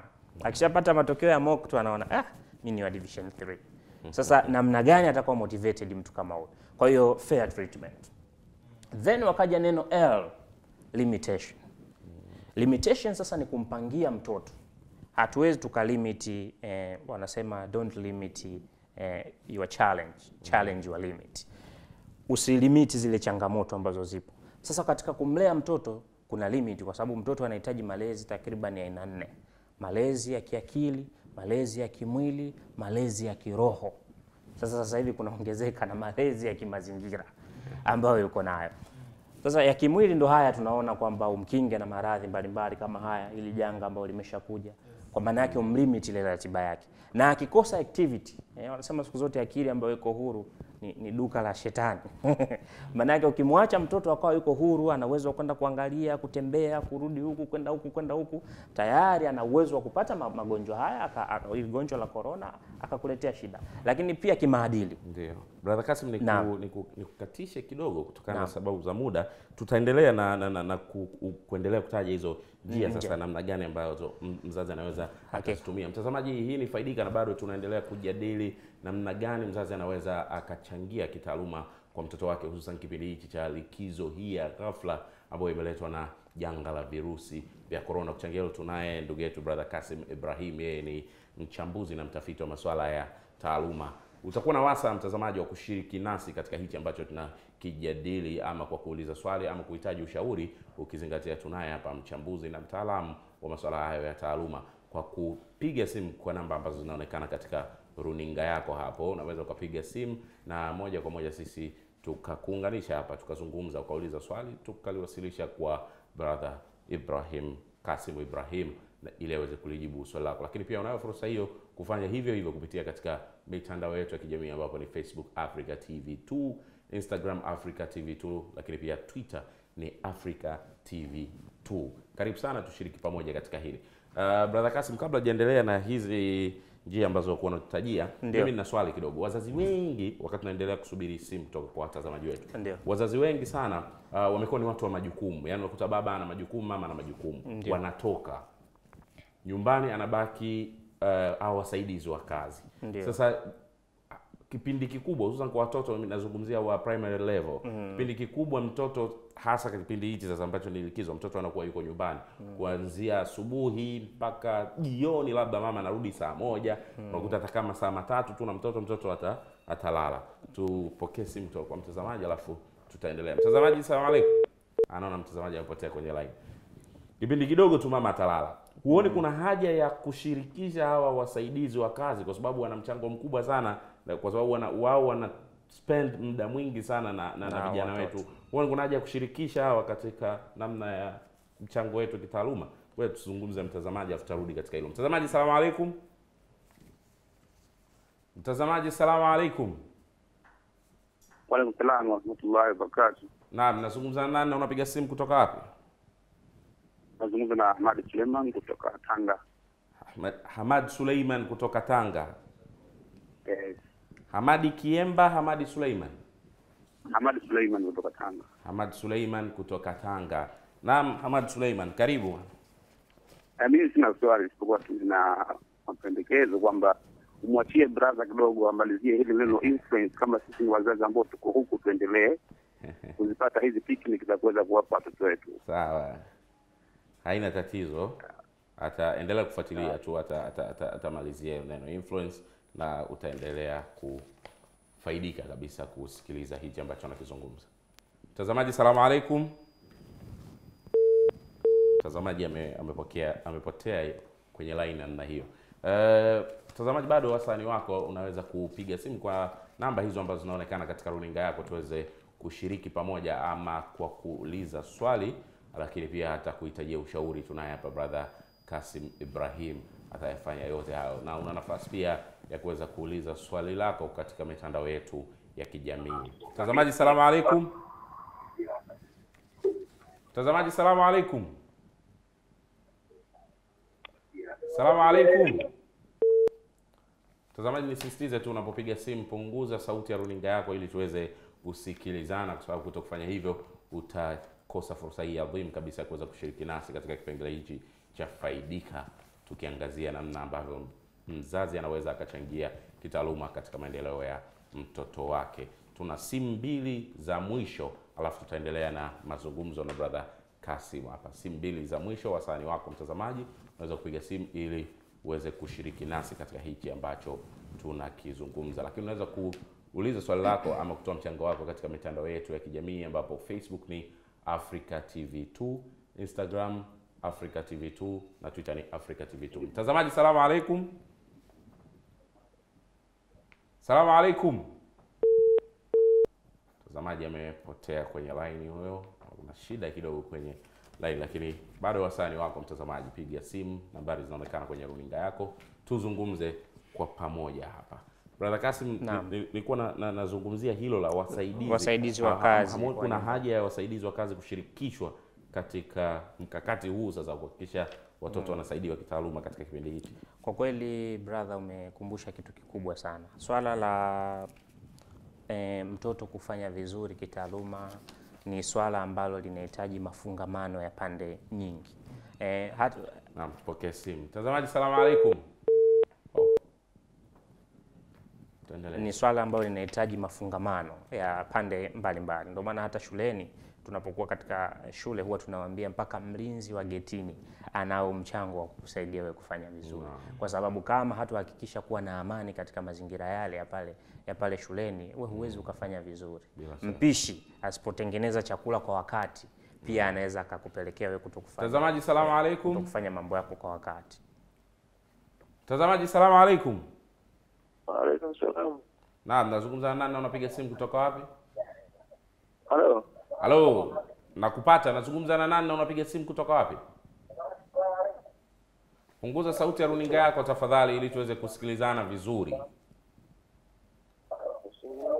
Na nazungumza na nani na unapiga simu kutoka wapi? Nazungumza na Kasimu Hamisi kutoka Moshi, Kilimanjaro. Kasim Hamis kutoka Kilimanjaro, karibu. Karibu brother Kasim. Oh. Eh, uh, tutapokea simu moja ya mwisho, tutapokea simu moja ya mwisho. Naona kidogo mawasiliano leo katika upande wetu wa simu kuna shida, kwa tutapokea simu moja ya mwisho tu, alafu moja kwa moja tutaendelea na mazungumzo hapa na brother Kasim. Na brother Kasim, ulikuwa unaelezea mchango wa watu wengine nje ya wazazi. E, tulikuwa tunasema kwamba pia ni swala funga, funganishi e, kwa maana ya Mtazamaji, salamu alaikum. Mtazamaji, salamu alaikum. Waalaikum salam Mzee Ali. Alhamdulillah, nazungumza nani na unapiga simu kutoka wapi? Waalaikum salam Mzee Ali. Punguza sauti ya runinga yako nisikilize kwenye simu na si kwenye runinga yako tafadhali. Waalaikum salam Mzee Ali. Punguza sauti ya runinga yako ili tusikilizane vizuri. Unazungumza na Yakubu Muhamed kutoka Pemba. Yakub Muhammad kutoka Pemba, karibu. Karibu ya kupunguza sauti ya runinga yako tafadhali.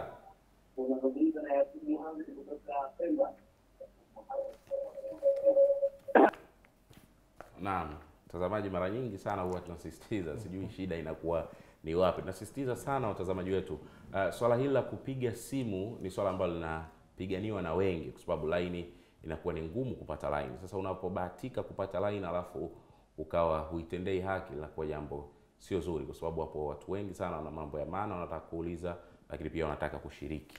Sasa unapofanya hivyo, na maelekezo tunayatoa kabla, kuwa unapopiga simu punguza sauti ya runinga yako ili tuweze kusikilizana vizuri. Kwa leo hatutakuwa tena na simu kwa sababu ya muda. Sasa moja kwa moja tuendelee na brother Kasim. Ah, tulikuwa tunaelezea kwamba swala hili la malezi, swala la kumsaidia kijana kitaaluma ni swala shirikishi.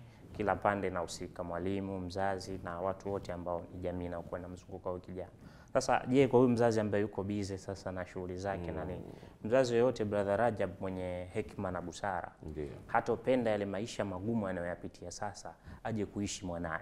Kwa lazima atafanya jitihada za kila namna za kumwekea mazingira rafiki huyu mtoto wake ili aweze kufanya kufanya vizuri. Na miongoni mwa katika njia za kumsaidia ili mazingira yawe rafiki kwake ndio hizo tulikuwa tuna, tunajaribu ku- kuzitaja. Kuna kuna kuna msikilizaji wetu amevutika tuelezee Eh. kwamba katika hili neno influence, Influence, eh, eh, tuliishia kwenye kwenye kwenye Kwenye kwenye L. L ya, ya kulimit kwamba umlimit huyu mtoto katika ratiba zake umprogram. Usi- ukimtengenezea program ambazo zitakuwa zinafanyika eh, continuously itakuwa umelimiti sana ratiba yake. Kwamba sangapi mpaka saa ngapi. Hata house girl utamwambia hawa wakiamka tu saa mbili mpaka saa ngapi? Ni muda wa ku- wa kusoma. Saa ngapi mpaka saa ngapi? Ni muda wa- wawe wamepata chai. Mm. saa ngapi? Hakikisha wamekwenda kulala. Sababu wanatakiwa wapate muda wa kutosha wa kufanyaje? Wa kupumzika. Yani yule house girl kwa sababu ukiwa ume, ume kwa sababu ume- ulipomtafuta ulikuwa una, kuna vitu unamwangalia we kama, kama baba mwenye nyumba. Kwa hiyo una uwezo wa kumpa vile vijiratiba vya hawa watoto katika, katika kusimamia. Lakini tuje sasa kwenye kumalizia neno letu hili katika zile njia za kumsaidia huyu kijana ambaye amepata eh, likizo ya ghafla. Tunaenda herufi U, understand. Eh, mlifanya kipindi hapa na kaka yangu brother Msafiri. Understanding ni ku- kumwelewa kwanza mtoto, kwa sababu tuliona kuna aina kama tatu za wanafunzi mm. lakini eh, njia bora ambayo wataalamu wa masuala ya study skills wanashauri ni mtu kufanya integration, kuzitumia zote kwa wakati mmoja. Ndio. Tuliona kuna mwanafunzi anaitwa visual learner, kuna mwanafunzi anaitwa auditory learner, kuna mwanafunzi anaitwa kinesthetic learner au tactual learner. Mm. Auditory ni mwanafunzi anaelewa zaidi eh, kwa, kwa kusikia, ndio maana ameitwa auditory na visual ni mwanafunzi anaelewa zaidi kwa kutizama, kwa kuona Mm. na kinesthetic ni mwanafunzi anayejifunza zaidi kwa vitendo au by movement. Sasa hawa katika sura yao ya usomaji pia inaweza ikawa iko tofauti.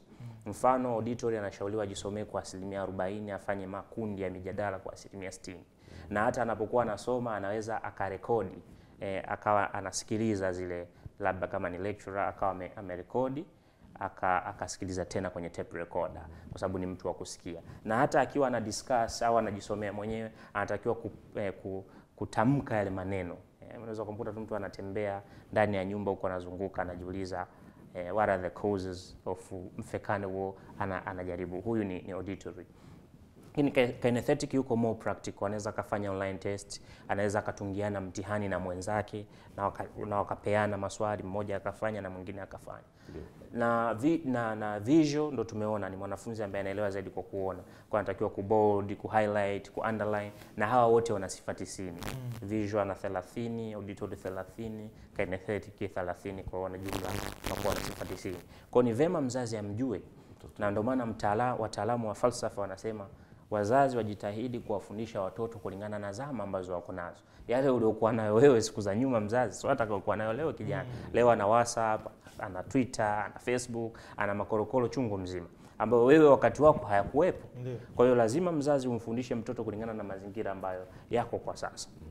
Mm. na, nyingine brother Kasim, kwa sababu ya muda Ya- ya muda. Kabisa. Kidogo Ndio. kwenye hizi herufi nyingine ili tuweze kutoa faida tunakwenda neno n. Ndio. Eh, n negotiation. Ndiyo. kwa maana this is the best way ni njia bora katika kumlea mtoto. Inaitwa win-win situation. Brother Rajab unakaa na mtoto unamwambia kwamba wewe unataka eh, nikupatie 30000 mm. hela kwa ajili ya pocket money ukirudi shule. Isoke It's okay nitakupa. Lakini lazima upate A ya mathematics wewe leo mnataka mama apike biriani zuri, hakuna mm. shida, biriani nitapika, lakini usiku mtasimama kuswali tahajjud. mm. Unaona hayo mazingira ya win-win situation, mm. maana yake unakubaliana na mtoto eh, anajifeel guilty pindi ambapo anakuwa hajatekeleza lile, kwa sababu mlikubaliana. mm. Eh, ulimwambia bwana, ukitaka kitu fulani ukipate, lazima kitu fulani ufanye. Kwa hiyo hiyo ni win-win, ni njia bora katika kulea eh, kuwalea watoto na hasa kipindi cha cha likizo, una motivate kijana wako kwa kumwambia ukifanya hiki na mimi takupa hiki. Kwa hiyo nipe nikupe. Um, then neno C mm. eh, constant engagement eh, engagement kwa maana ya kuna wakati mtoto anaweza akawa na malengo mazuri na mawazo mazuri. Kuna wazazi wana ignore eh, zile engagement, kukutana na, na mtoto kumsikiliza, hana muda, yaani akirudi ni usiku, anatoka asubuhi, akirudi ni usiku. Kwa hiyo kupatikane constant engagement na constant learning. Mara kwa mara kaa na kijana, mweleze matatizo ya ulimwengu, hali ya sasa, mmong'onyoko wa kimaadili ambao upo na nini, kwa nini sisi tulikupeleka shule yani, wale, wale, nini, yani sababu gani za sisi kukupeleka shule na sababu gani za sisi kukufanya usome unachokisoma. Mm. Lakini hii engagement pia inaenda kwa, kwa, kwa, kwa kina kaka pia ambao hivi sasa colleges zimefungwa na universities, wana uwezo wa kutumia nafasi hii kuwasaidia wadogo zao e, waitumia nafasi hii kumsaidia kijana, kumpa miongozo kama wa kidato cha sita, yale ambayo aliyakosa sasa anaweza akayapata. mm. Then tunamalizia herufi ya mwisho mm. ya E, educate and encouragement. Mtoto anahitajika sana ku, kuwa, kupata maarifa ya kutosha mara kwa mara. Tutumie njia ambazo sasa hivi ni njia za mitandao, wanaweza watu wakasoma kupitia mitandao na wakajifunza vitu mbalimbali ambavyo vipo sasa hivi. Tunapongeza baadhi ya vyuo ambavyo vimeweka mifumo ya Moodle eh, Halo Study ambazo anaweza akapata material, lakini kuna baadhi ya shule nizipongeze, zimetoa package kama holiday package ambayo mwanafunzi anaweza akatumia kipindi hiki ambacho yuko nyumbani kupitia zile eh, vile vitu ambavyo ulikuwa navyo. Kwa hiyo tukirudi kwenye swala la kwanza la msingi sasa, mm. mzazi ataondosha worries kwa sababu tayari kesha mtengenezea mtoto plan mm. na wataalamu wanasema if you won't take care about your summer the winter will take you harsh. Kwa hiyo kama hautatumia vizuri muda ambao wa sasa, mm. baadaye kutatokea athari kubwa sana. Shukrani sana brother uh, Kasim Ibrahim. Mtazamaji huyo alikuwa brother Kasim Ibrahim, yeye ni mchambuzi na mtafiti wa masuala ya taaluma, na leo tulikuwa tukiangazia namna gani mzazi anaweza akachangia katika upande wa taaluma ya mtoto wake, hususan katika kipindi hiki cha likizo ya ghafla ambayo imeletwa na janga la virusi vya korona. Brother Kasim, kwa dakika moja sasa, wito wako kwa ujumla kwa wazazi, hasa katika kipindi hiki cha likizo. Wito wangu kwa wazazi na jamii kwa ujumla, tuzingatie kanuni na taratibu ambazo zinaendelea kutolewa na wataalamu wetu wa afya, lakini kama watoto ni tulizo la nyoyo zetu na macho yetu, basi tuwaangalie pia katika kukua kwao kiroho, kimwili na kiakili, ili waweze kufikia malengo yao na tupate jamii iliyokuwa bora. Shukran sana brother eh, Kasim Ibrahim. Mtazamaji, maneno hayo ya brother Kasim Ibrahim akitoa wito kwa jamii, wazazi na jamii kwa ujumla, ndio yanatukamilishia eh, kipengele chetu cha faidika katika asubuhi njema ya leo. Na leo tulikuwa tukiangazia namna gani mzazi anaweza akachangia katika upande wa taaluma ya mtoto wake, hususan katika kipindi hichi cha likizo hii ya ghafla ya janga la korona. Mpaka kufikia hapa, kipengele hichi cha faidika kitakuwa kimefika mwisho. Bila shaka utakuwa umepata elimu na kufaidika kuhusiana na hichi ambacho tulikuwa tukizungumza. Tutapata mapumziko, tukirejea tunakwenda katika kipengele chetu pendwa kabisa cha mwisho ambacho ni kipengele cha meza ya sheria. Nilikueleza awali kuwa leo tutakuwa naye Sheikh Ibrahim Ghulam, ambapo tutakuwa tukiangazia wajibu wa mke kwa mume wake kwa mujibu wa sheria ya Kiislamu. Tupate mapumziko, alafu tukirejea moja kwa moja tutakwenda katika kipengele cha meza ya sheria. Kwa sababu dini yetu ya Kiislamu pamoja na maadili yetu yanaendana na wakati na inatupelekea kufanya maamuzi pamoja na kumtegemea Allah.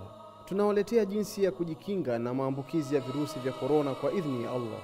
Daima osha ama nawa mikono yako na uso wako kila wakati unapopata nafasi. Jaribu kuepuka sehemu zenye msongamano mara kwa mara. Jiepushe kushikashika vitu ambavyo vinashikwa na watu wengine kila mara. Weka nafasi ya kutosha baina yako na wale unaozungumza nao ana kwa ana. Kabla ya yote haya, usisahau kusoma na kuzielewa aya na hadithi katika dua alizokuwa akizisoma Mtume Muhammad sallallahu alayhi wasallam. الله خير حافظا وهو أرحم الراحمين أعوذ بالله وقدرته من شر ما ذرأ وبرأ اللهم إنا نعوذ بك من الجذام وسيء الأسقام أعوذ بكلمات الله التامات من شر ما خلق. بسم الله الذي لا يضر مع اسمه شيء في الأرض ولا في السماء. وهو السميع العليم.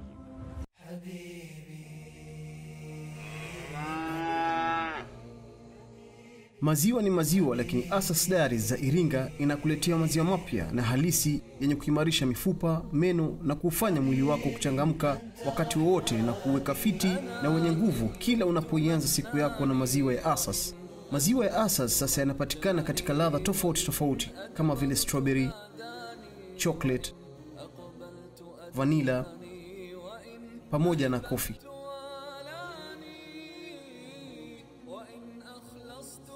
Asas Milk, flavors of life. وإن قصرت عافاني وإن أحسنت Said Salim Bakresa Company Limited ina nia si tu ya kukidhi mahitaji yako, lakini kwenda zaidi ya matarajio yako na kusambaza bidhaa zenye kiwango cha juu kwa bei nafuu.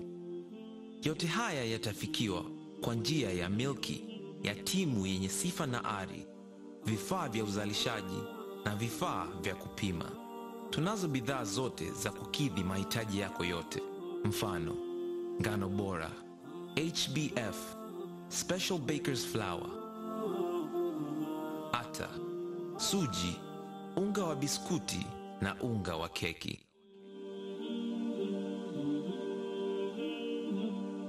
Tumia unga wenye chapa ya Azam, chaguo la kweli na wala siyo mbadala.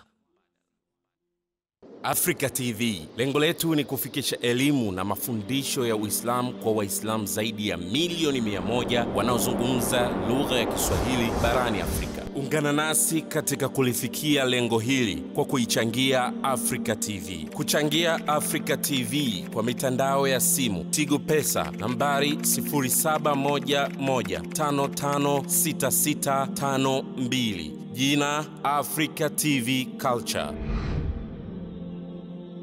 M-Pesa nambari 0747244786 jina Africa TV Culture. Airtel Money nambari 0788449225 jina Africa TV Culture. Zantel Easy Pesa nambari 0779753275 jina Africa TV Culture. Kuchangia Africa TV kwa akaunti za benki Amana Bank kwa akaunti ya shilingi ya Tanzania akaunti namba 003110 9456500001 kwa akaunti ya Euro, akaunti namba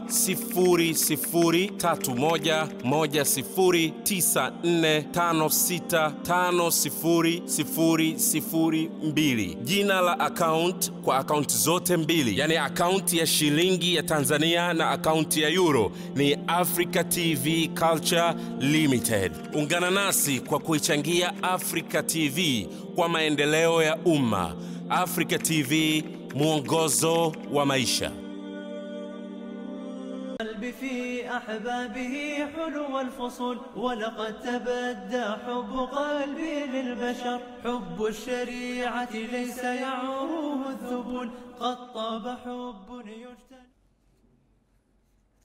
Naam, mtazamaji, karibu tena baada ya mapumziko eh, hayo baina ya kipengele cha faidika na hiki kipengele pendwa kabisa cha meza ya sheria. Kwa nikukaribishe sasa, ni kipengele cha meza ya sheria, na nilikueleza awali tutakuwa naye Sheikh Ibrahim Ghulam, tayari tumeshajiunga naye. Sheikh, karibu sana.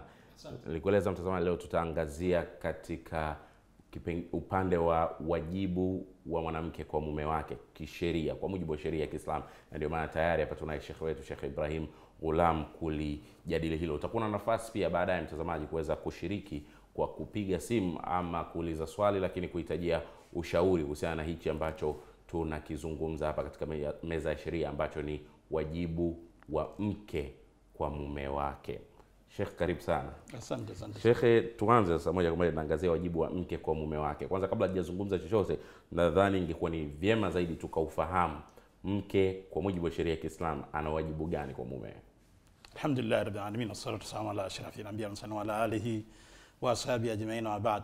Tunapozungumzia eh, wajibu, kwa kweli wajibu wa mke kwanza Mm. lazima tumwelewe huyu mke ni nani. Naam, bila shaka. Eh, mke anazingatiwa kisheria ni yule mwanamke ambaye kiasili anaitwa kwamba ni mkando kwa mume no. ni mtu ambaye wana uwezo wanaruhusu sheria kumwoa yeah. na ikafungwa ndoa ambayo inazingatiwa ni ndoa sahihi Bila kwa mujibu wa taratibu zilizo zilizokamilika huyo anazingatiwa kwamba ni, ni mke.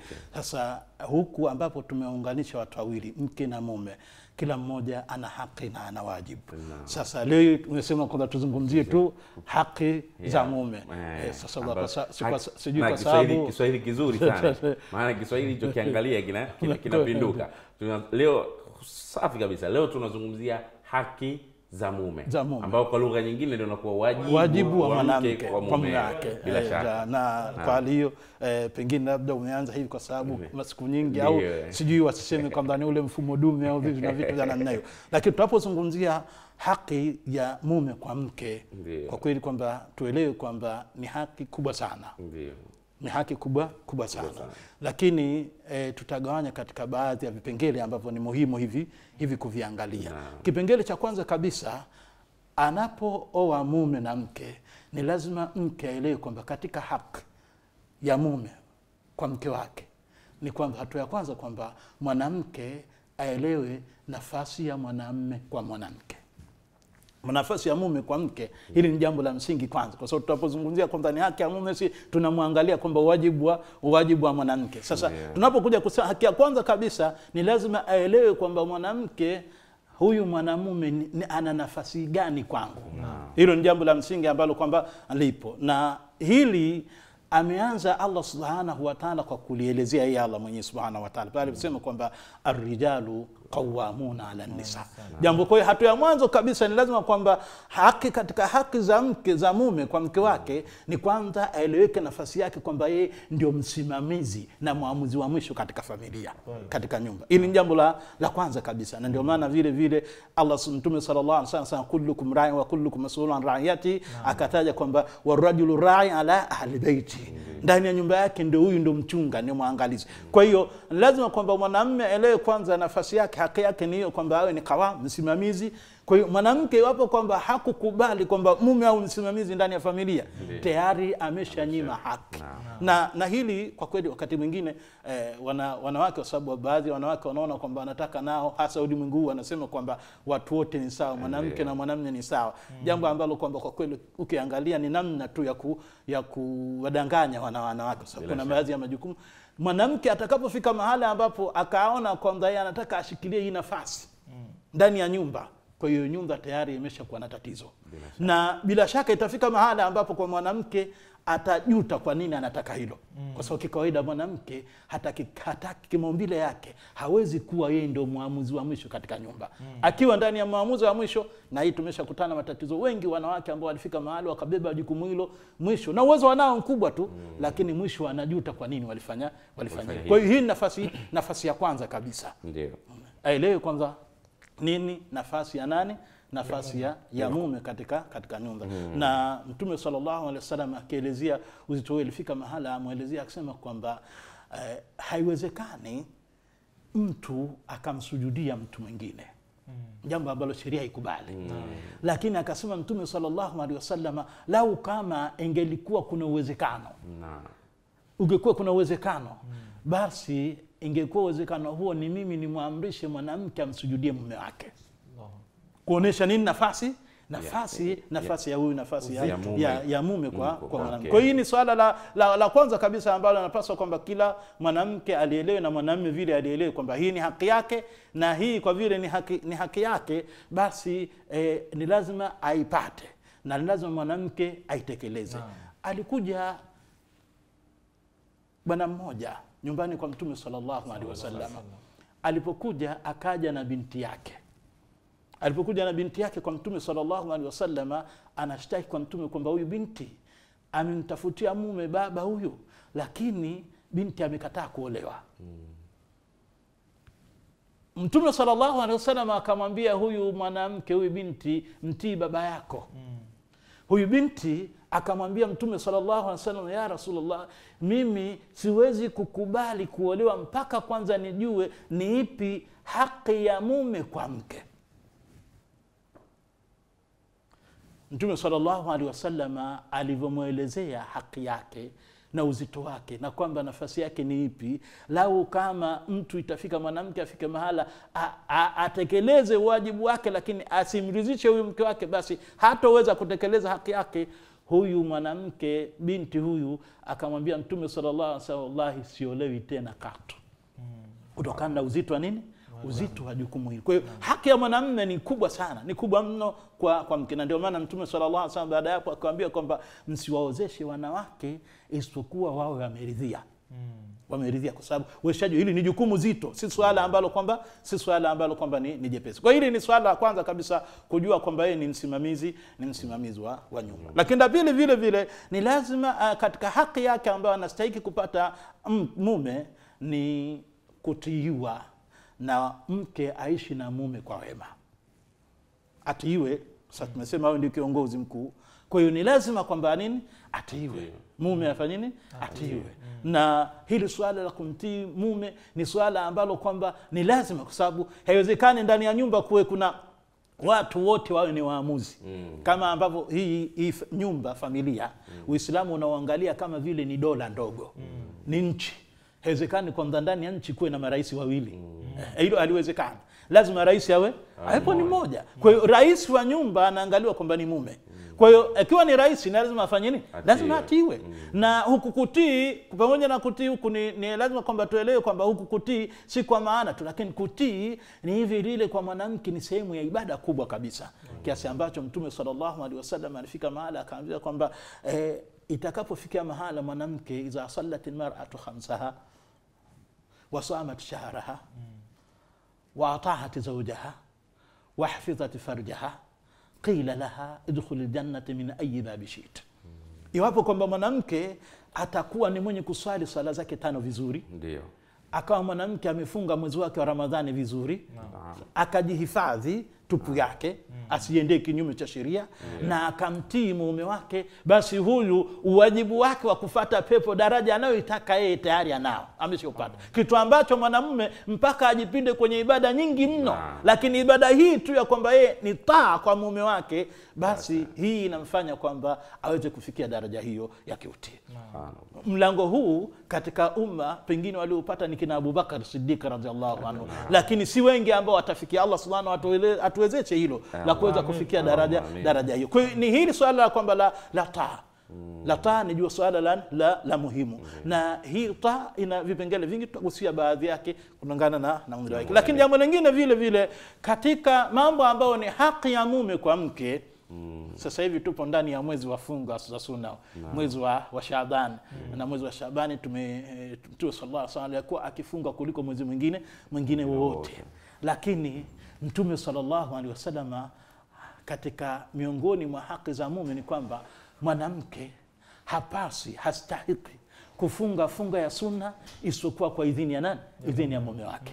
Ikiwa mume wake yupo yupo nyumbani hapasi mwanamke afunge sunna isipokuwa afanye nini? Isipokuwa apate idhini ya nani? Apate idhini ya mume wake. Bali hasa wanawachuona nasema kwamba hata funga ambayo kwamba muda wake ni mpana so funga funga kuna wakati ambao baadhi ya funga muda wake ni mfupi. Kuna funga ambazo muda wake ni ni mpana. Funga ambao muda wake ni mfupi mfano wa funga ramadhani. Ukiona ni pana lakini muda wake nini ni mfupi. Kwa sababu ni siku hizo hizo 30 29 Ha, ukizikosa hizo huipati tena ramadhani. Lakini kwa mfano funga ya wajibu ya, ya, ya, ya ramadhani labda mtu analipa. Mwanamke analipa Eh, aka- akawa akufanya nini? Hakuweza kufunga ramadhani baadhi ya siku kwa, mm. kwa mujibu wa sheria. Hasa anataka kulipa. Bado muda wake ni mpana kwa sababu tokea mfungo mosi mpaka mpaka Shaabani anaweza kulipa. Huu pia wanasema kwamba nao ni lazima apate idhini ya nani? Idhini ya mume wake kwa sababu anaweza akawa na mahitajio na kazi shuhudi muhimu ambazo zitamkwaza zita iwapo kwamba atakuwa mke wake amefunga. Na ndio maana mama Aisha radhiallahu anha alikuwa anasema kwamba ilikuwa mimi ninapitiwa na kipindi kwamba na deni la kulipa Ramadhani, lakini inafika mpaka Shaabani bado ndio nafanya nini, sijalipa, nakuwa ndani ya Shaabani ndio ndio ninalipa. Kwa hiyo hii ni katika haki ya mume kwamba ni, ni lazima kwamba mume afanye nini, atiiwe katika masuala kama haya. Mwanamke asifunge mpaka pa, funga ya sunna mpaka pale ambapo atakuwa ame ame- amepata idhini ya idhini ya mume wake. no. Katika haki yake vile vile ni kwamba mwanamke asithubutu kutoka ndani ya nyumba kwenda safari isipokuwa kwa idhini ya, ya mume wake. Ni jambo la, la msingi. Leo hii tumekuwa leo hii na maisha tunaoishi kwamba mwanamke anajitokea tu, bali mwingine anakwambia inaweza kufika kabisa mwanamke akasema kwa- kwani wewe ukitoka unaniaga mm. kwa hiyo na mimi sifanye nini, sina ulazima kwa sina ulazima kuaga. Lakini eh, kwa kweli si vizuri kwamba mume unatoka na usifanye nini, usimweleze mke wako, lakini ambaye anapaswa kwamba e- asitoke. Ni wangapi kumetokea matatizo yanapofika wakati kwamba mwanamke anatoka, labda anatokea mwanamme anarudi, anauliza mke wangu yuko wapi? hmm. baadaye haeleweki swali, linasababisha mpaka ndoa ku- kuharibika. Kwa hiyo eh, mama Aisha radhiallahu anha katika kisa cha ifki cha uzushi kile maarufu hmm. alipotaka kurudi nyumbani kwa kwa, kwa baba yake alimtaka idhini Mtume sallallahu sallallahu alaihi wasallam. Hakujiendea tu, pamoja na kwamba alikuwa katika hali ngumu sana. Kwa hiyo mwanamke anapaswa kwamba kuzingatia hilo kwamba hata akiwa katika mazingira gani ajitahidi kuhakikisha kwamba haendi sehemu isipokuwa amepata idhini ya nani? Idhini ya, ya, mume wake. Lakini jambo lingine vile vile e, mwanamke anapaswa kwamba aangalie katika haki za mume nyumbani, ambapo yeye ndo msimamizi wa nyumba, utekelezaji wake, uendeshaji wa ndani, baada ya usimamizi mkuu wa mume, anapaswa kwamba aelewe kwamba hana haki ya kumkaribisha mtu ambaye mume wake hapendi kuwepo katika nyumba yake. Na hili ni jambo ambalo linapaswa kwamba kuli, kuliangalia kuliangalia kwa kina, kwa sababu inafika mahala eh, hii ni, ni kuangalia kwamba mwanamke lazima aangalie vile vile hisia za nani hisia za mume wake, ikiwa kwamba anajua kwamba mtu huyu, na hii tunapozungumza hiyo, sio kwamba lazima aseme ainishe kwamba fulani mkaribishe, fulani mkaribishe, fulani mkaribishe, fulani usimkaribishe. Sio lazima. Yupo mtu unajua kwamba huyu mume wangu akimkuta huyu hana tatizo lolote, unamkaribisha. Lakini usio unamkaribisha mtu unajua kwamba mtu huyu ana ugomvi na mume wako, alafu bado unafanya nini? Unamkaribisha nyumbani. Kwa kweli hili ni jambo ambalo kwamba halitakikani. Kwa hiyo ni katika vitu ambavyo kwamba tunapaswa wanapaswa wanawake kuzingatia kwamba hii ni haki ya mume kwamba asiwekwe asifikishwe nyumbani asikalishwe nyumbani mtu ambaye mume haridhiki kuwepo katika nyumba nyumba yake. Sheikh Ibrahim, eh, ni kusitishe kidogo uh, eh, bila shaka tuna, tuna, tunafaidika mimi na bila shaka mtazamaji pia unafaidika sana kuhusiana na hichi ambacho tunakiangazia leo katika meza ya sheria ambacho ni wajibu wa mke kwa mumewe, ama kwa lugha nyingine unaweza ukasema haki za mume kwa mke wake. Ni lugha tu hapo, lakini hicho ndio ambacho tunakizungumza leo na tunaye Sheikh Ibrahim Ulam kulizungumza. Nikueleza awali, utapata fursa pia wewe mtazamaji kuweza kushiriki nasi katika hichi ambacho tunakizungumza. Wasaa ndio huu sasa, unaweza kushiriki nasi kwa kupiga simu kwa kutumia namba ambazo zinaonekana katika runinga yako ili uweze kushiriki nasi, ama kwa kuuliza swali, lakini pia kwa kuhitaji ushauri. Tunaye shekhe hapa atayafanya hayo yote mawili kwa pamoja itakapohitajika. Pia unaweza kuuliza swali lako kupitia katika mitandao yetu ya kijamii ambapo Facebook ni Africa TV 2, Instagram Africa TV 2, lakini pia Twitter ni Africa TV 2. Karibu sana tushiriki pamoja. Naona kuna simu moja kwa moja. Mtazamaji, salamu alaikum. Wa alaikum salam wa barakatuh. Habari ya studio, Alhamdulillah, tunazungumza nani na unapiga simu kutoka wapi? unazungumza na Abdallah Hamadi kutoka Zanzibar. Abdallah Hamadi, karibu Sheikh. Asante. Mimi nilikuwa nina swali moja, lakini samahani, kwa tofauti na hicho ambacho kama kizungumza Sheikh Gulamu hapo, Ndio, swali langu liko hivi: ndio. Kwa mfano mimi na mdogo wangu wa kike, Ndio. lakini mdogo wangu wa kike bwana, yeye amepatikana amepatikana nje ya ndoa manake. Ah, amepatikana nje ya ndoa. Ndio. Eh, kazaliwa nje ya ndoa. Ndio. Mimi nimezaliwa ndani ya ndoa, lakini yeye kazaliwa nje ya ndoa. Ndio. Huyu unaweza kumkalia wali mimi kumwozesha mume? Ah. Sawa. Swali lako tumelipokea. swali langu lilikuwa ndio hilo tu. Sawa, Sheikh Abdallah Hamad. Swali lako limepokelewa. Naam, mtazamaji, fursa ni yako sasa. Unaweza kupiga simu na kuuliza swali juu ya hiki ambacho tunakizungumza, na tunazungumzia wajibu wa mke kwa mume wake ama haki za mume kwa mke. Karibu sana, tushiriki pamoja. Mtazamaji, salamu alaikum. Waalaikum salam warahmatullahi wabarakatuh. Habari za hapo studio? Alhamdulillah, namshukuru Allah tabaraka wa taala. Nazungumza na nani na unapiga simu kutoka wapi? Ah, Nazungumza na Abdallah Magome Abdallah Magome, karibu. kutoka Kigamboni, Dar es Salaam. Naam, Abdallah Magome mimi Kigamboni. swali na swali moja hapo shehe wangu, Ndio, ikiwa mwanaume anataka kuoa ndio, alafu huyu mwanaume huyu ndio, akamtuma ndugu yake ndio. akamtuma ndugu yake kwamba nenda kanyolee, Aha. kwa sababu eti chumba chake kichafu. Ha? Nifahamu eh? Bado kidogo hapo, weka sawa Sheikh, sijakufahamu. Naona Sababu ya kumtuma ndugu yake ni nini? mfano mi, mimi Ndio, naoa ndio. Lakini siwezi kwenda kuoa sababu sababu changu kichafu, nataka nifanyie usafi. Uliamua ghafla kuoa. Aha, alafu yule anayemtuma yule ni mtoto wa mjomba wangu. Vipi, nakuaje hapo? Sawa. Una swali jingine? Hapana, sina swali jingine. Haya bwana, sikiliza kipindi utapata jibu lako bwana Abdallah magomo kutoka Gamboni, Dar es Salaam. Mtazamaji, karibu tushiriki pamoja, ama kwa kupiga simu kuuliza swali eh, ama kuhitajia ushauri, lakini pia unaweza kufanya hivyo kupitia mitandao yetu ya kijamii. Eh, mtazamaji, salamu alaikum. Salamu alaikum. Ah, Mtazamaji amekimbia kwenye line. Tutakuwa na simu moja ya mwisho bila shaka, kwa sababu ya sababu za muda, alafu tutayawasilisha maswali kwa shekhe, lakini pia tutampa shekhe nafasi ya kuweza kumalizia uh, kutoka pale ambapo tulimkatisha. Mtazamaji, salamu alaikum. Mtazamaji, salamu alaikum. Alaikum salam. Naam, nazungumza na nani na unapiga simu kutoka wapi? Ah, unamzungumza na Ali Rashid. Ali Rashid kutoka wapi? Ali Rashid, punguza sauti ya runinga yako kidogo. Ah, Punguza sauti ya runinga yako ili tusikilizane vizuri. ah, ah, Haya. Naam. Ali Rashid kutoka wapi? Ali Ah, Rashid, nimepunguza. Naam. Natoka hapa airport. Airport Dar es Salaam, Tanzania. Eh, natoka airport hapa. Ah, karibu sana. Na airport hapa. Sawa, karibu. Una swali ama? Ah, mimi nina swali bwana. Ndiyo, karibu. Unajua Mwenyezi Mungu amesema ndio amesema Waislamu ndio kwanza, Uislamu ni fahari kuitwa Muislamu, na mtoto yote anapozaliwa anazelewa akiwa Muislamu, naam, na Waislamu tunatakiwa tutekeleze Uislamu wetu kama Qurani inavyotuelekeza. bila shaka.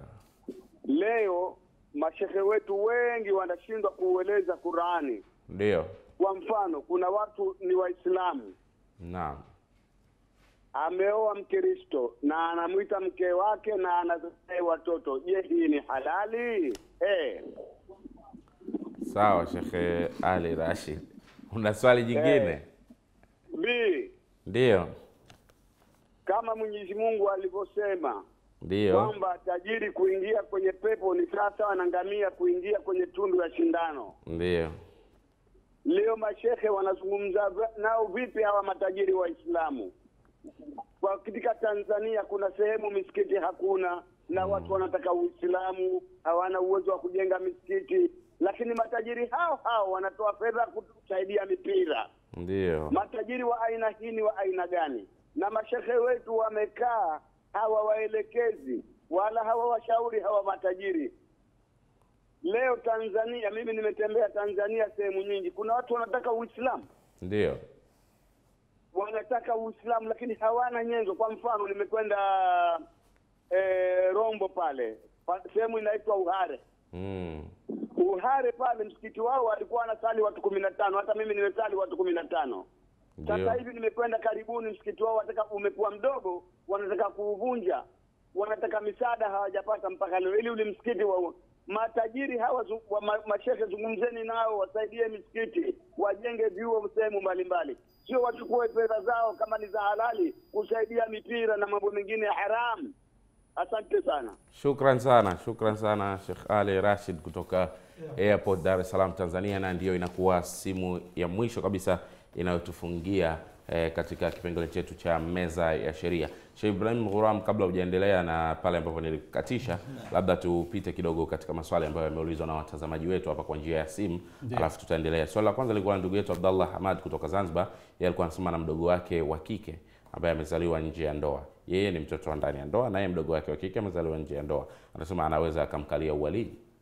Sawa. E, kwanza kabisa niseme kwamba jamii lazima ifike mahala ili jambo ilichukie. Kuzaliwa watoto nje Ya nje ya ndoa. ni jambo ambalo ni baya ni chafu. Si kwa huyu binti. Mm.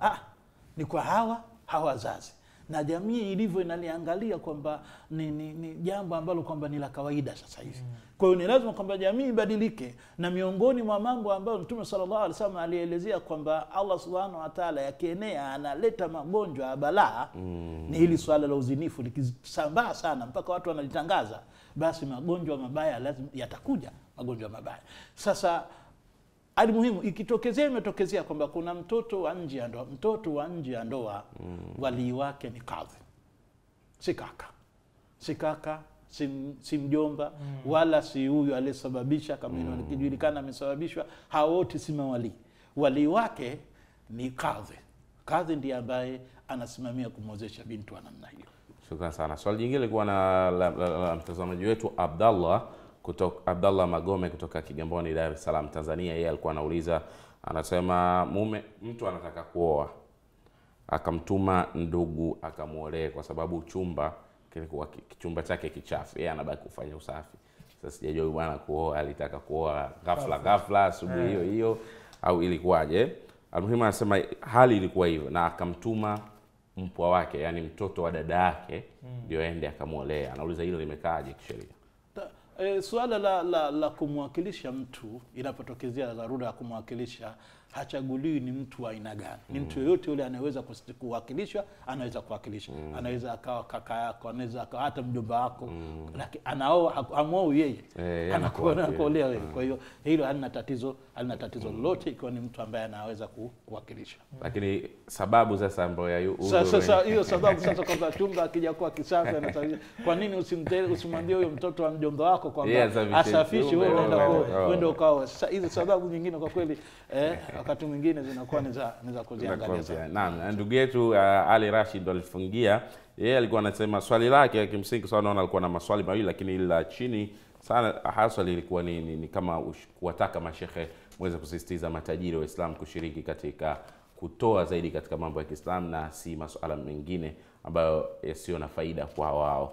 Uh, swali lake la kwanza kabisa alikuwa swali la msingi, alikuwa anauliza kuhusiana na mtu ameoa Mkristo na anaishi naye na anamuita mke wake na anapata naye watoto. Je, hili ni halali?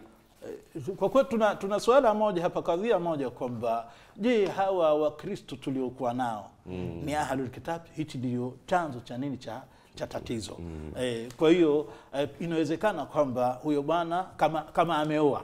Tunapozungumza kama ameoa. Inawezekana kwamba huyo bwana alikutana na shekhe akasimamia huyo shekhe aliyesimamia Mm. anawazingatia kwamba wakristo hawa tulionao mm. wafuasi hawa wa wa wachungaji na mitume hii sio- isiyomalizika hii anawazingatia kwamba ni nini?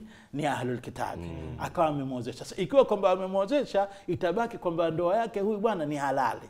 Mm. ndoa yake ni sahihi. Sisi tutajaji tu na huyo shekhe aliyemwozesha ni vipi ambavyo wewe ulivyozingatia mpaka ukaweka hawa katika nini kama sisi mashekhe? Mm. tutajadiliana naye katika katika hilo. Lakini ikiwa kwamba aliozesha, sio kwamba amemchukua wanaishi lakini mm. kwamba kwa sababu najua katika nchi zetu hizi eh, na jambo muhimu sana kwamba ndoa inapofungwa wanamtaka kwamba awepo shekhe kuhakikisha kwamba taratibu za kisheria zimezingatiwa. Sasa ikiwa kwamba alisimamia shekhe na shekhe anazingatiwa akamchukulia kwamba huyu ni ahli kitabi akaozesha hiyo ndoa ndoa yao tutaizingatia ni, ni sahihi ndoa yao. Tutaizingatia ni sahihi. Basi sisi tutabaki sasa kudiri na huyo shekhe aliyemwozesha ni vigezo gani ulivyovizingatia mpaka huyu ukamfanya kwamba ni, ni ahlul kitab? Kitab, kuna, kuna, kuna maswali mawili hapa tupite nayo haraka haraka ambayo ameulizwa pembeni kwa njia ya mitandao.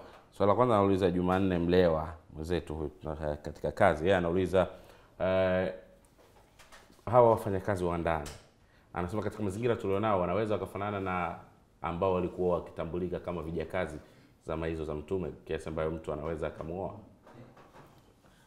ku, ku, suala la kuweza kumwoa kumwoa ni jambo ambalo ni la kisheria kuzingatia kwamba hamna mahusiano hmm. lakini hazingatiwi ni kijakazi.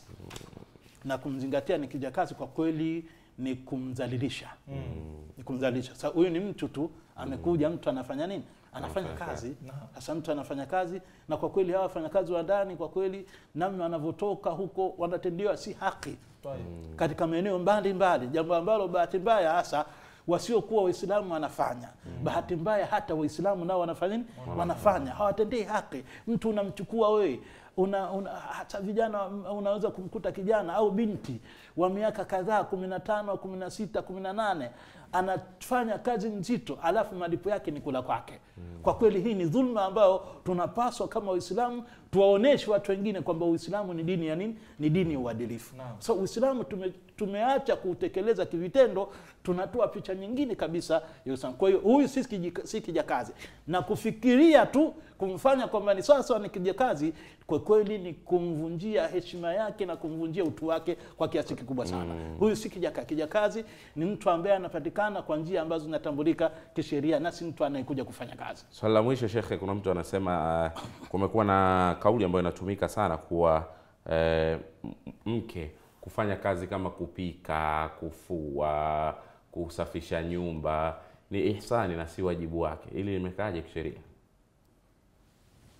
hili swala kwa kweli tunavyozingatia eh, wanalizungumza wana wanawachuoni kwamba hai masuala ya kupika masuala ya ku, haya ni masuala ambayo kwamba ni ya, ni ihsani Mm. wanazungumza bali imamu nawawi rahmatullahi alayhi katika vitabu vyake hata alivyokuwa akisherehesha sahihi muslim mm. anaona kwamba hiyo ni ijmaa ya wanawachuoni kwamba huu si wajibu si wajibu kwake mm. lakini mambo ambayo kwamba anayafanya kama ni sehemu ya, ya ihsani kwa hiyo ni vitu ambavyo kwamba vya kuzingatia kwa kina kwa kina ingawa wako baadhi wanachuo wanasema kwamba hatukuona katika wema waliotangulia kwamba mwanamke asiyewajibika na haya kwa kuwajibika kwao inaonyesha kwamba ni jambo ambalo kwamba nini ni la lazima la lazima kwao. Lakini kauli za kina imamu nawe ni kauli ambazo ni za kuzingatia kwa sababu mpaka anafika ananukuu ijimaa kitu ambacho kwamba ni cha kuzingatia kwa kina. Kwa hiyo wanawake kwa kiasi kubwa kwamba tuelewe kwamba vile vile huku tukizungumzia siku inshallah tukipata nafasi ya kuzungumzia haki zao tutakuja kusahau leo tunazungumzia wajibu wao. Kwa hiyo tuelewe tu kwamba kuna mambo mengi wanawake ambao wanayafanya mm. ni aina ya hisani kwa hiyo mm. na sisi wanaume ambao tuna leo tunazungumzia haki zetu basi tuhakikishe kwamba tunawafanyia mengi ya hisani na ndio maana hata tunapoozeshwa pale tunaambiwa fa bihisani no. au tasrihi bi- bimaarufi au tasrih bihisani Ina- uislamu unamtaka mtu hata mnapoachana.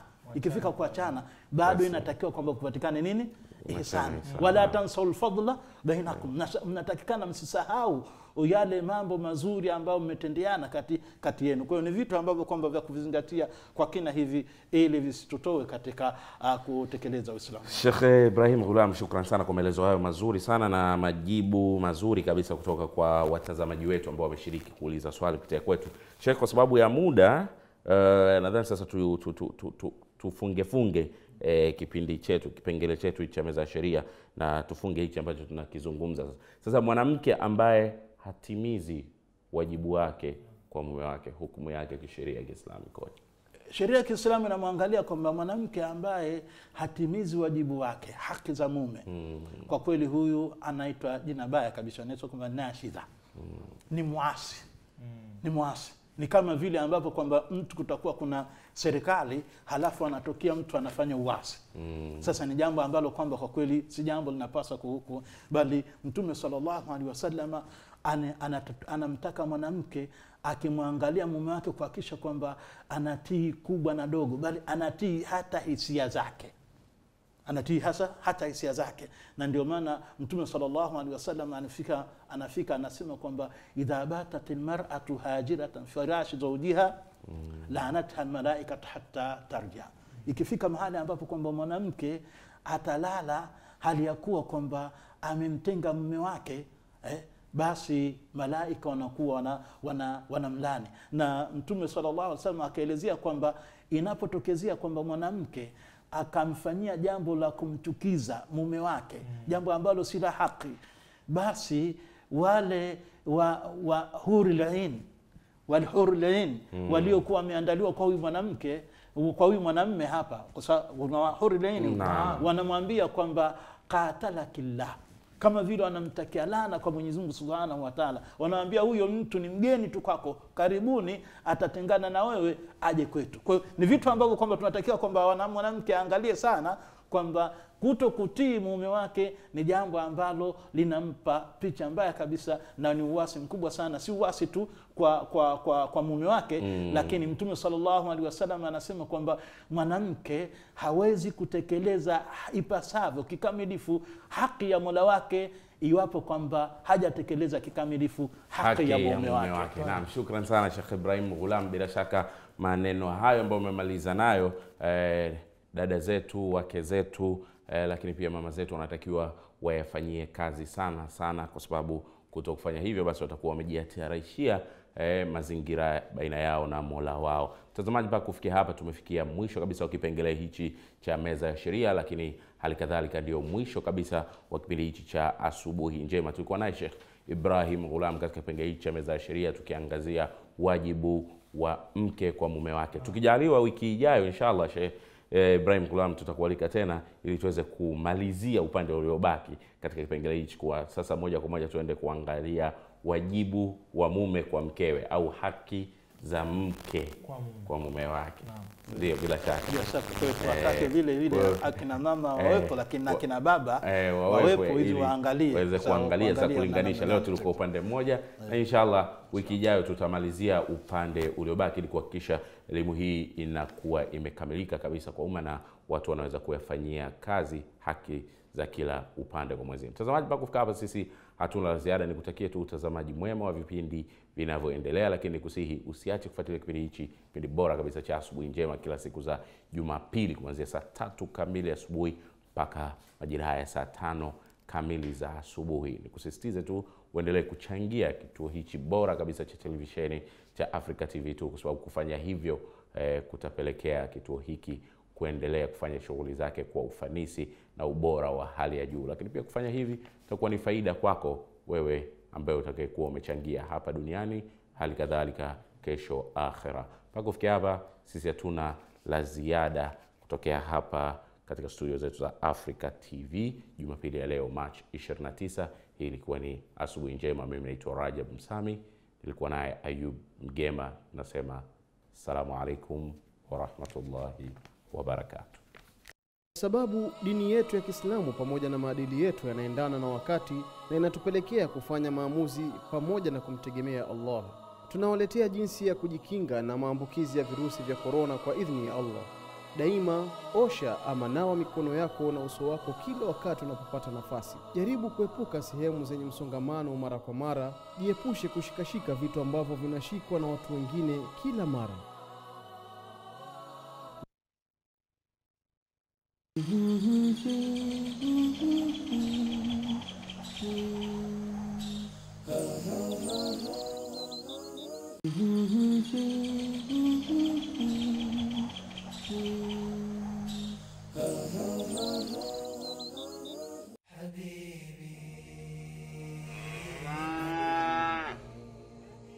Maziwa ni maziwa, lakini Asas Dairies za Iringa inakuletea maziwa mapya na halisi yenye kuimarisha mifupa, meno na kuufanya mwili wako kuchangamka wakati wowote na kuweka fiti na wenye nguvu kila unapoianza siku yako na maziwa ya Asas.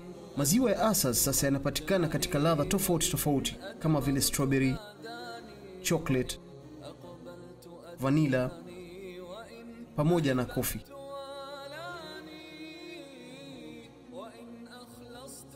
Asas Milk, flavors of life.